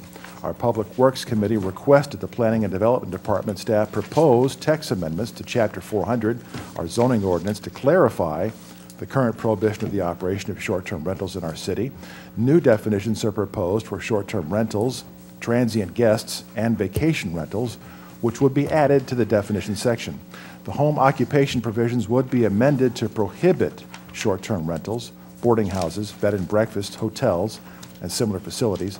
The district regulations for each residential zoning district and the UD district would be amended to clarify that residential quote-unquote use does not include short-term residential use by transient guests, for example, short-term rentals. Finally, additional language concerning occupancy permits would be added to clarify that short-term rentals cannot qualify for an occupancy permit. At their March 14th Planning and Zoning Commission meeting, the commission at that time voted three in favor, four opposed to the bill prohibiting short-term rentals. The bill prohibiting short-term rentals moves forward to the Board of Aldermen, thus with consideration with an unfavorable recommendation to approve from the commission all the language found in Bill number 6191. All right, thank you. Uh, Before we start uh, questions on this, and we're going to ask uh, Director of Planning and Zoning Kirkemeyer to come up and, and make, give us some information. I just want to remind the board that uh, the unfavorable recommendation from Planning and Zoning is not binding. Uh, It requires a majority board vote on this text amendment to either pass or not pass it. So no change in the voting or anything like that. Uh, Director Kirkemeyer, come on up. Thank you. Good evening. So I think the synopsis probably did a good job, um, efficient job of explaining exactly what the prohibition would actually entail and how it came about. So about the only thing I, I want to add, because it was brought up in public comments this evening, was in regard to the state legislation. And I think just to clarify on that just briefly, is that I'm, I know of five different bills that have been entered into the state legislature, either through the House or the Senate. And all of those have died in committee. There is a current one that is under consideration for the spring legislature. And I don't know if they'll address it in the spring session or what may happen. Um, currently, though, the, the law would be for um, cities to regulate short-term rentals. And what it does say, actually, if something like this would pass the way the bill is written right now, is that after, if again, if it was adopted, by August of 2018, if, uh, if it was passed, then there couldn't be any cities that could actually pass ordinances anymore that prohibit short-term rentals. And by August of 2019, if you had a prohibition that was on the books, then no longer after August 2019 could you enforce your ordinance prohibiting short-term rentals. The only thing, though, I would like to say again is I'm going to stress that there's been five bills out there over the last six years that either try to regulate them or even impose like tax regulations. So I again, it- it's anybody's guess, but I'm not really thinking that anything's going to come out of the state law in terms of this. But regardless, I just wanted to let you know a little bit more of the background of You, that. you left your crystal answer. ball at home as well? I did. I know Yeah. the crystal ball's been We got to get better people in here. times, Everybody, so- nobody has a clear view of the future. I don't get it. But I think Alderman Waggy. So this is, um, I mean, this bill prohibits, but it's really a clarification of what we believe the current code says, correct? This is not a change from what it- what it is right now. Right. Um, Our position, city's position, staff's position would not be changing just with this ordinance. It's just for clarification. And um, again, it just, uh, right now, our current ordinance uh, certainly doesn't permit short-term rentals, and they cannot comply with our occupancy permit program. So therefore, we have taken the stance that they um, are not prohibited or not legal right now. So, and I guess to give a little bit of background too, because there was a statement that there are probably five or six possible short-term rentals in Brentwood. But again, that was one of the things that we were advised by um, attorneys is to make these clarifications in the code before we would really do enforcement, so. Yeah, I, I would describe this as a, uh, a clarification of the status quo. Go ahead. So, I mean, I know, I know P and Z is talking about, you know, ways to allow it.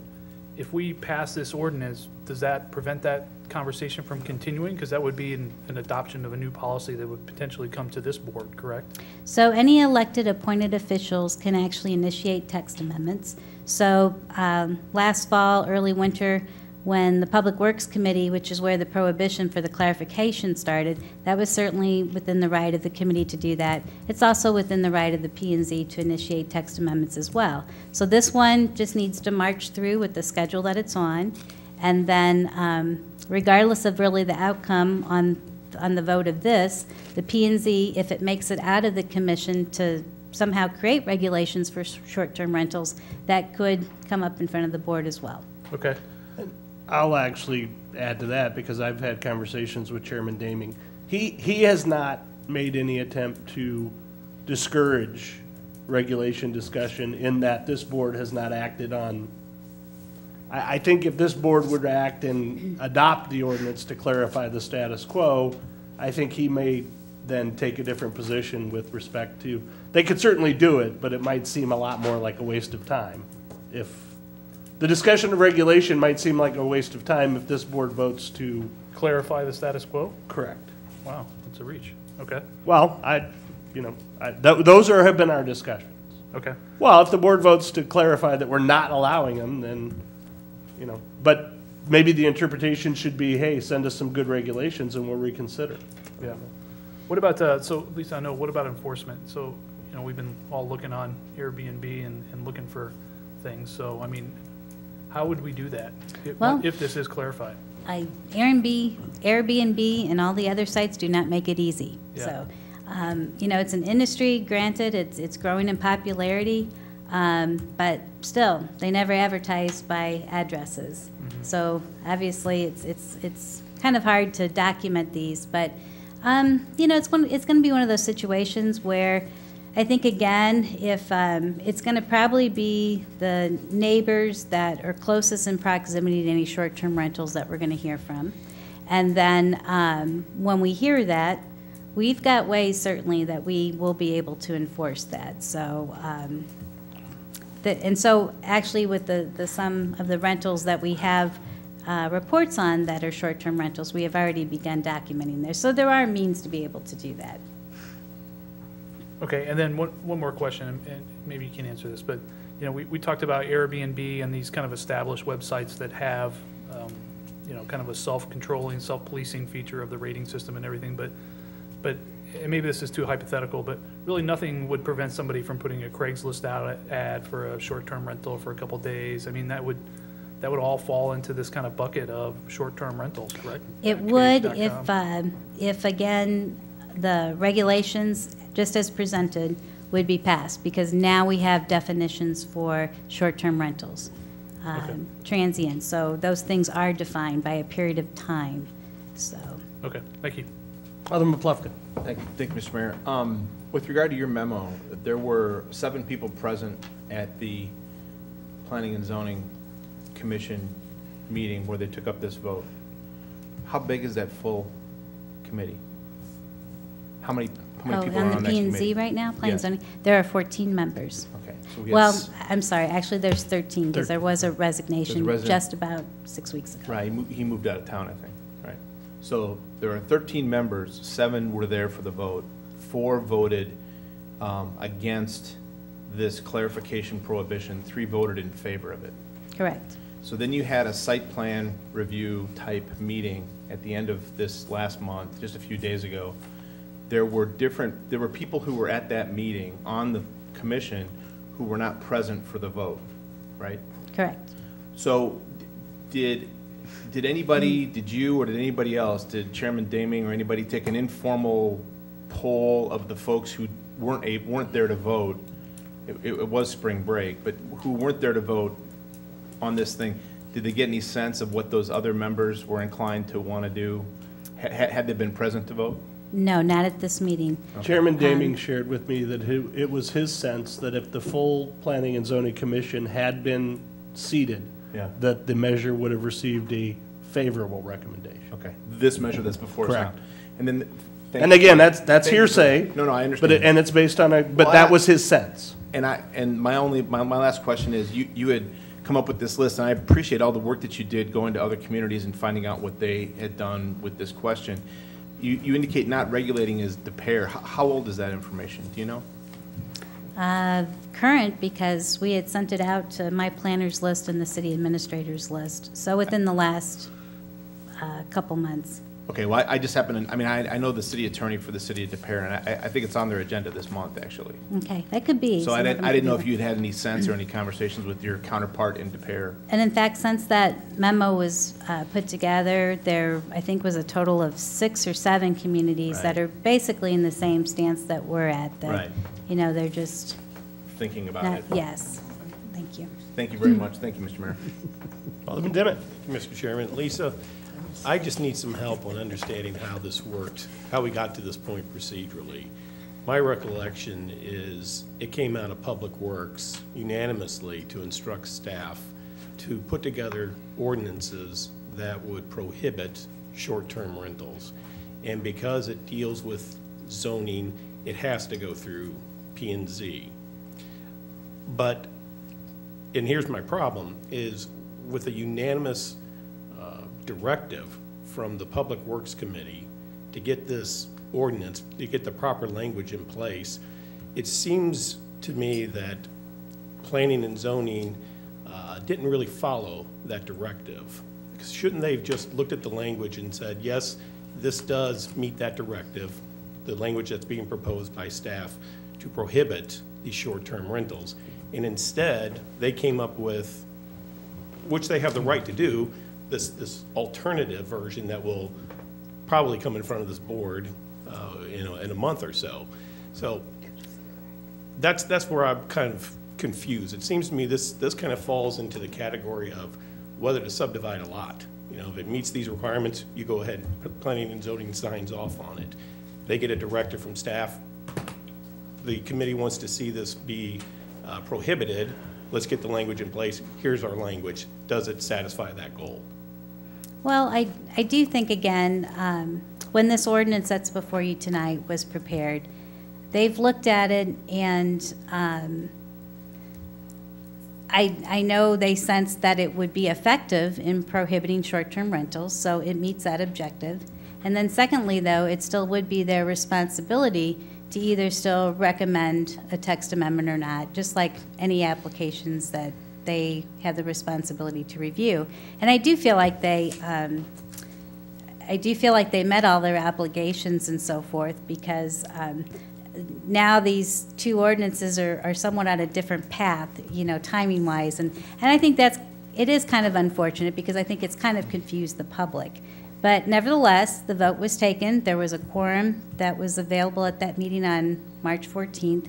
And so um, they made a motion, it seconded, and then they voted on it, and then it still meant that this uh, prohibition would still come before you this evening. So it didn't, it didn't stop that process, so, you know, I, I- I Well, look, what- what- What's, I was unable to attend the, the meeting when the vote took, when the vote took place.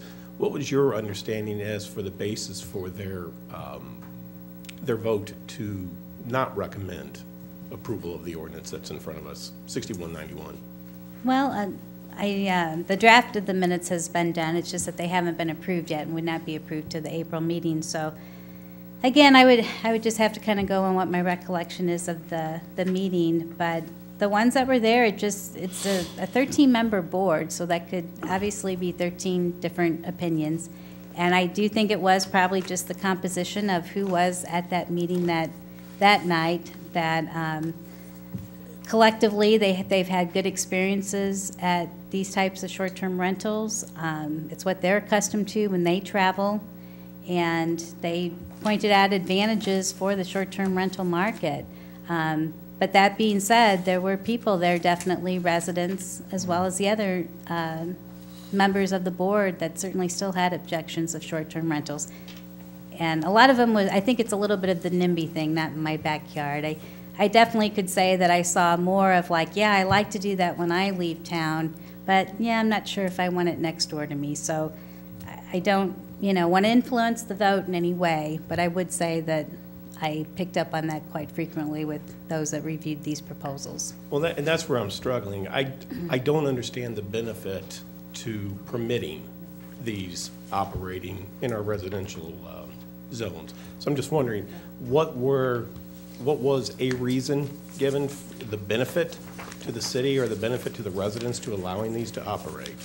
Sure. um, So I do have the uh, the minutes here. Um, And again, these are not ones that have been approved, but some of the comments made were, um, short-term rentals could show the diversity of the Brentwood community. Um, Again, the idea that the state at some point are going to adopt these regulations for communities to follow, let's get ahead of the curve. That um, visitors that come to the community uh, will spend money at local businesses. It's a way to promote and showcase the community, showcase the neighborhoods even, was expressed. Uh, I think, again, some of them commented that if there was just regulations, that, again, it would be a more positive experience for the person visiting and for the community. So, those are just some of the comments that were made, but That's all most of it was just contributing still to the local economy. Um, I guess the last comment that I'll make was also that they are more sensitive and kind of environmentally friendly, sharing homes and residents versus hotels and so. Okay. Alderman Thank Lockmiller. Uh, Lisa, when's their next meeting? Their next meeting will be Wednesday, April 11th. So we would have time in our next packet at our next meeting to have all those minutes provided, if they approve those at that meeting? Yes, for the 16th, correct. So we can have the, Mhm. okay. And also, when somebody brings a petition like that, is there a time limit on when P and Z has to act upon it? So that, There is, I want to, maybe I might need to ask Mr. O'Keefe this, but I believe it's like 70 days. I believe it's 70 days Or after the 75. application, yeah. so at Yeah, that point, Otherwise, what happens is the um, petition, whatever nature of it is, goes through, but it goes through with uh, a favorable recommendation of the commission. thanks. Any further questions? Alderman Kramer? Yes, Your Honor. Uh, Madam City Administrator, this might be one you could handle, if or Lisa, if you happen to know. This topic came up several times, the conversations and the reviews that I heard uh, when the subject of hotels came up in comparison or contrast. Does the, the city has a hotel tax? Currently, we do not. We do not.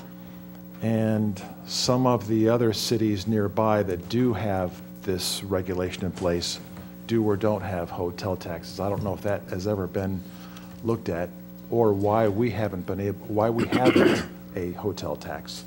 We're actually prohibited. Right. State law now prohibits municipalities in St. Louis County from impos- imposing a lodging tax.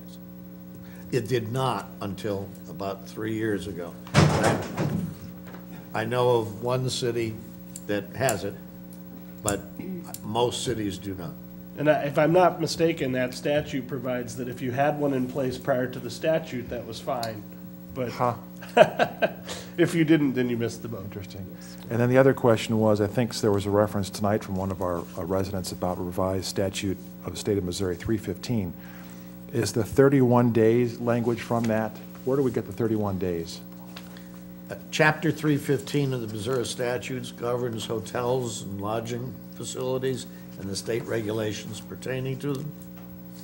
Uh, They do define uh, a hotel and transient guests uh, as those who occupy a premises for 30 days or less. Okay. And that language was taken from, that concept was imported into this regulation. Okay. Thank you, Your Honor. Any further questions? And that definition also applies for purposes of taxation. The hotel taxes are Right. applicable Ah. to transient Right. guests. Okay. Same, same deal, yeah. All right, no further questions? Thank you. Thank you. Uh, That brings us to uh, item number 12 on our agenda, if I'm not mistaken. Uh, we don't have any item number 12s on our agenda. Let's go to items 14 would be the next thing. Um, First up is 14A, Resolution 1089. Uh, Alderman Kramer, do you have a synopsis? I do, Your Honor. Resolution 1089 speaks to destruction of inactive records. It's the recommended guideline of the Missouri Secretary of State to formally approve the disposition of local government records at the Board of Aldermen level per the Secretary of State's Local Records Retention Schedules guidelines, quote, "The disposition of records should be recorded in a document such as the minutes of the City Council or other legally constituted authorities that have permanent records statuses," unquote. Staff has reviewed existing records and confirmed that the records listed in Exhibit A are materials that meet the retention schedule set forth by our Missouri Secretary of State, that these records are no longer needed by staff. Staff has also verified that this list does not contain any records that would be considered of any historical nature. The recommendations for the Board of Aldermen to uh, the, di- approve the disposition of the records listed in Exhibit A. Our Ways and Means Committee unanimously approved the recommendation and the recommendation to the full board this evening from their March 14th, 2018 meeting. This is Resolution 1089. Entertain a motion to adopt Resolution 1089. So moved. Second. Been moved and seconded that the board adopt Resolution number 1089. Is there any discussion? Alderman Leahy. Thank you, Your Honor. Um, in looking through the record list, they have on the very second to last page, I think it is, they're not numbered. I'm looking at the police department record for destruction. There are twenty-four boxes, of which five boxes have police records and stuff that go up to twenty sixteen. Since I'm not sure what's in the records, my question is, I know we have unsolved cases and stuff from 2016 and 2015 and 2017. I'm assuming somebody has sorted through these to verify that none of this information would affect the potential solving or closing a case? I don't believe any of the records here pertaining to any existing case that has not been solved. Uh, Major McIntyre um, worked on this project, reviewed all the records in compliance with the um, rec- record retention schedule. Um, He recommends that we're in compliance with that. That's why we took it to Ways and Means and formally to the Board of Aldermen tonight. Thank you. And if you approve this, their cleanup ratio jumps. The case closure rate is going to skyrocket. Well, Aye, aye, aye. Fantastic. Clear. Uh, Any further, dis- uh, Alderman Lockmiller? Madam City Administrator, the, wh- when we look at the drawings under planning and development, there's some drawings and they go back to the 30s. None of that was historical. Well, um, if you Not that I recall. was around or anything. We had the Historical Society building um, next door in Rosalie. And for some odd reason, the city decided to use the basement of that building as storage. Mm. Damp, wet, Okay. spiders, you name it, not legible. Being, yeah, okay. Thank you. Further discussion? Are we ready for a vote? Oh. Just like to make a comment. Alderman I am impressed with the amount of detail that would have gone into doing this. Pages and pages of what lists like boxes full of papers does not sound like a lot of fun. It was But I think it is commendable of the city to clean it up, and kudos to you for doing it. Thank you to the department directors. They worked on it for the past six to nine months. Sounds like it. All right. Uh, All in favor of the adoption of Resolution 1089, please say aye. Aye. Are there any opposed? By a vote of unanimous, eight to zero, Resolution 1089 is adopted.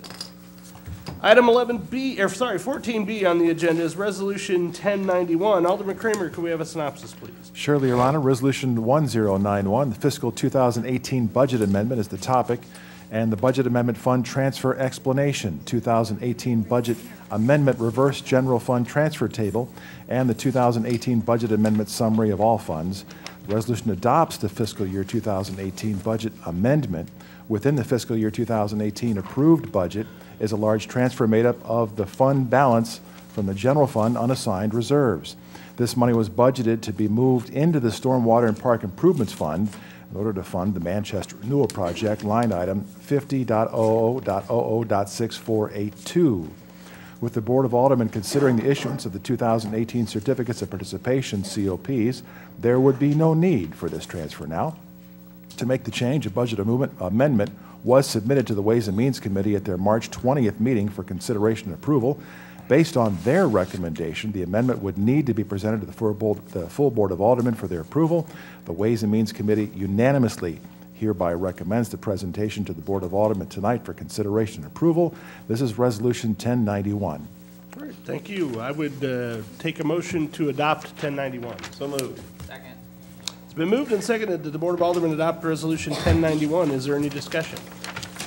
Alderman Leahy.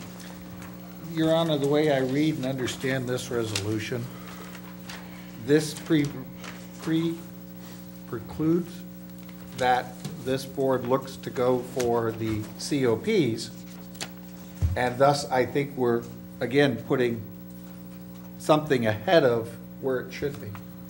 I think this should be held off till we determine whether the COP route is the best route to go right now, versus I would like the board to seriously consider looking at fulfilling the full bu- budget arrangement and potentially asking the voters for help in making this decision. I think it's right for the voters to do so, and thus undoing it right now without having that issue resolved, this may be too early to consider. Um, okay, so I'm torn between taking that as a motion to defer or, or uh, uh, as a question. So let It's- me. It's a question at this point, All Your. Honor. So, so let me try to respond to that question. So, the, the, I think the simple fact is, is that either way, this transaction makes sense. Either we will go ahead and do the COP transaction and we'll proceed with this project, or we will not go ahead with the COP transaction and we will not proceed with this project. If we don't proceed with this project, I don't think that anybody in this room is going to be in favor of running down our, our, our fund balances. I mean, I, you know, I, I, I think at this point, it's, um, you know, it was done as a, it was done as a stopgap measure anyway, Mhm. the, the budgeting. So I think, at this point, I think people are clarified enough on kind of where we're at to make a decision one way or the other. So, in my opinion, and again, maybe just opinion, uh, you know, we need to do this regardless because we have a lot more information than we had when we were preparing the budget. And based on that information, we're either going to move forward with the COP or we're not. And either way, we need to put these transactions back to the way they were. Just my two cents. Further questions, discussion? All right. All in favor of the adoption of Resolution 1091, please say aye. Aye. Are there any opposed? Opposed. By a vote of seven to one, Resolution 1091 is adopted. Alderman Leahy was opposed. Uh, Counts against the city, Alderman Dimmitt, the warrant list, please. Thank you, Mr. Chairman. I've had an opportunity to go over the warrant list with uh, staff, and uh, accordingly, I would make a recommendation to approve that, the warrant list in the amount of $222,953.20.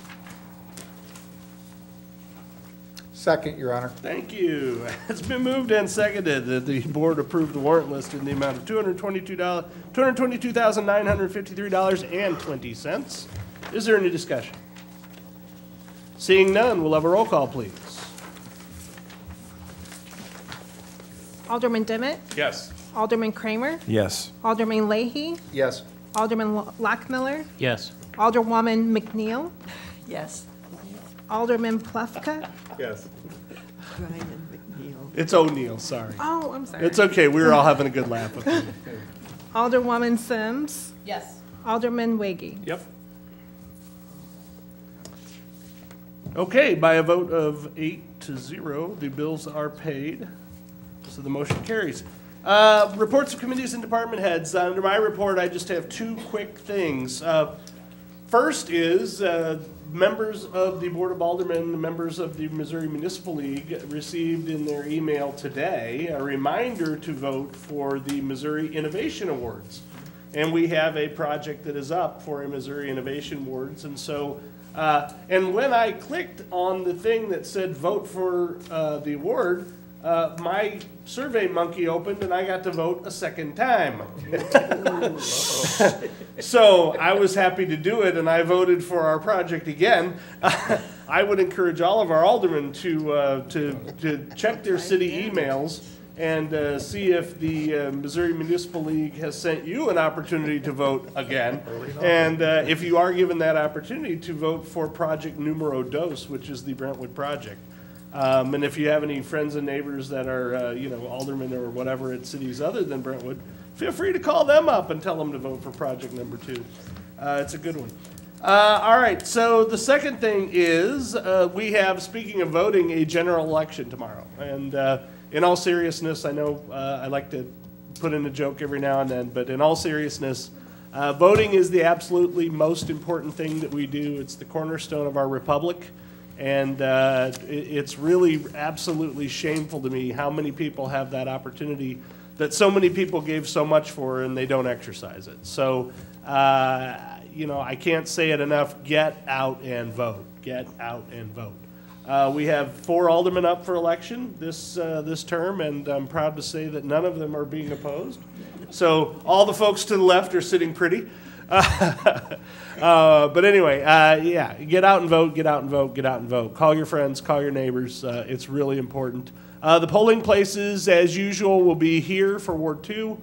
Uh, there will be in Brentwood Forest Condominiums uh, Clubhouse for Ward 4, and Wards 1 and 3 will vote over at the Rec Center. So please get out and vote. I know a number of the aldermen are planning to be out at And the at the polls. church. And at the And the church. church. Oh, we're, Ward McKnight Ward Road one also has Oh, we're Rockville back Church. at the word, oh, Church. okay, I didn't realize they still had that going on, I'm sorry.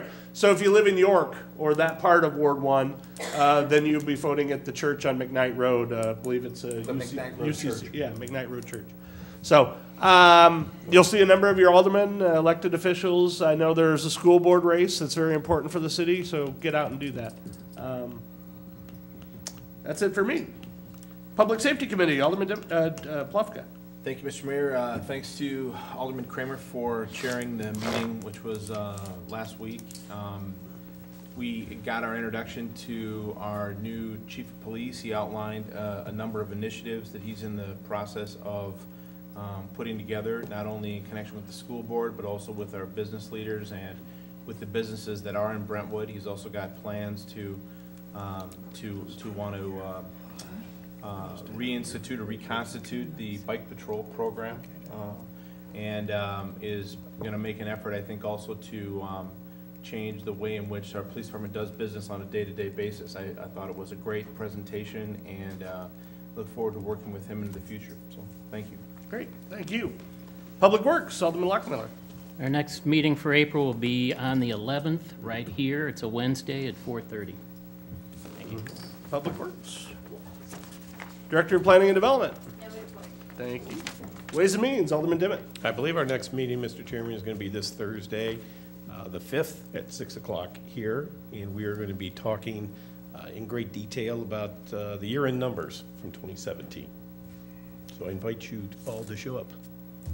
and ask Thursday your at six questions. PM. All right, I'm in. Mr. City Attorney. No report, sir. Madam City Administrator. No report, sir. Madam Excise Commissioner. No report.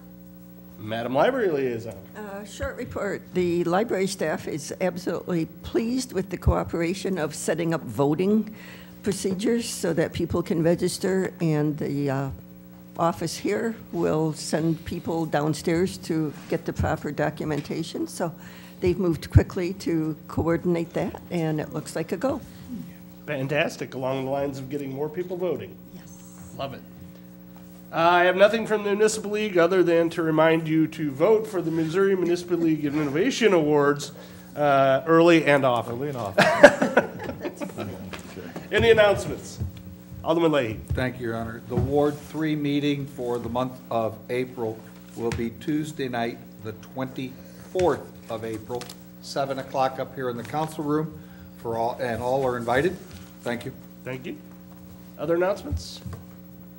Alderman Dimmitt, Alderman Plufka's trying to get your attention. Uh, I'm sorry. Yes, April Alderman. 10th. What? April meeting or no? April meeting.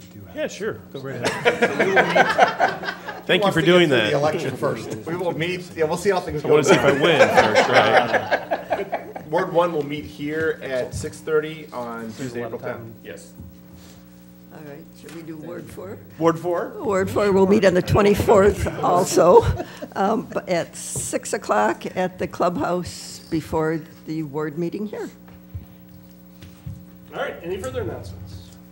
Seeing none, we have on one item of new business this evening. It's a request for authorization to expand an existing per, uh, work order. So uh, Alderman Kramer, I believe you have synopsis. I do, Your Honor. This is, the- as you stated, the request for the authorization to expand LNB architecture and interiors and the project scope for the City Hall Customer Experience Renovation Study Project. A motion authorizing the city administrator to enter into and execute the change. This is change order number one. The city of Brentwood is committed to its residents and all with whom we have dealings to conduct its business in an efficient, responsive manner.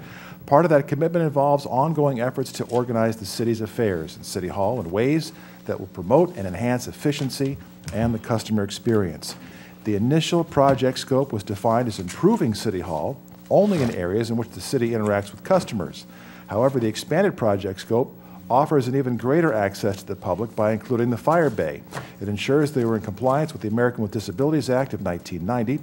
The original contract cost was $24,200. The expanded scope is $2,500 additional. Updated total project contract, $26,700.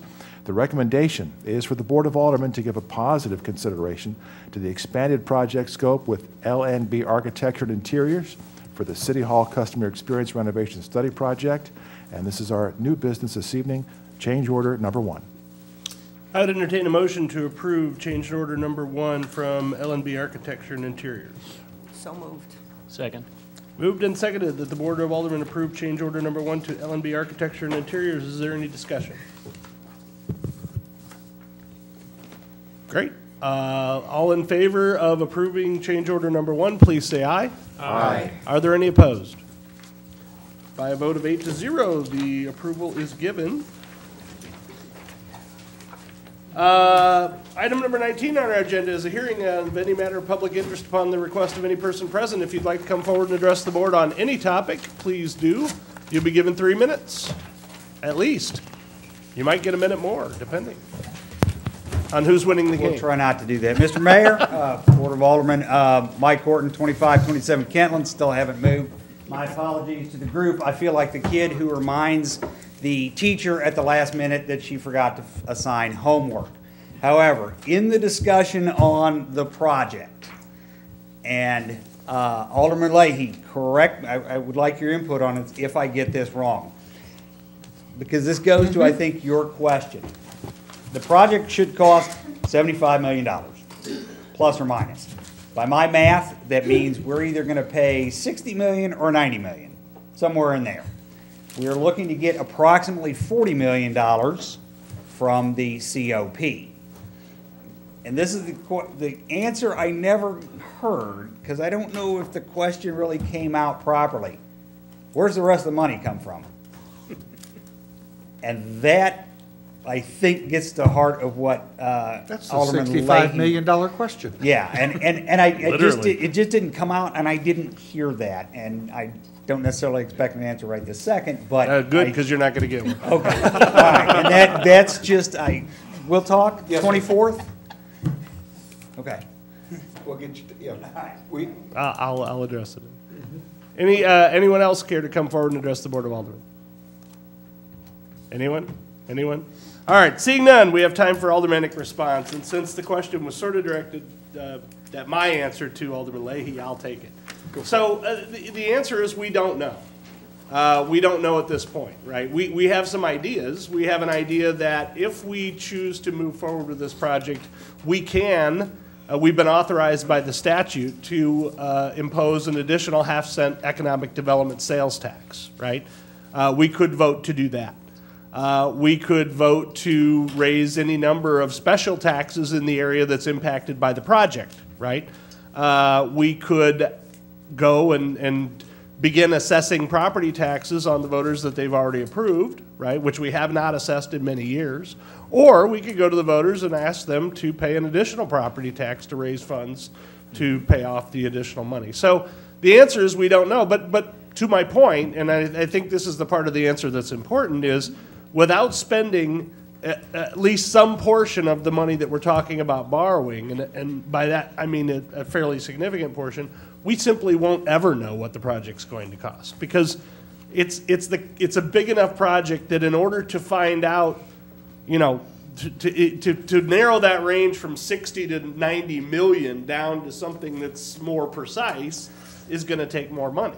And, and that's just all there is to it. So, uh, what we, what we are doing by doing this is we're, we're doing the necessary parts that will take a very long time, such as land acquisition.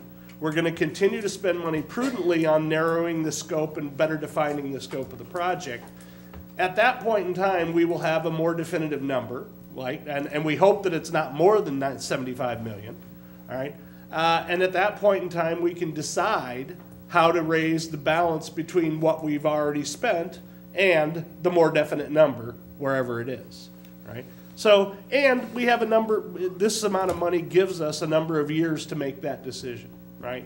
As we have more information, as we have more opportunity, then we can kind of address that. So that's my answer to the question. I don't know how Alderman Leahy. I agree respond. with what you're presenting. Any further aldermanic response? Okay, seeing none. Uh, let's see, that brings us to item number 20 on the agenda, which I believe is a motion to go into a closed session.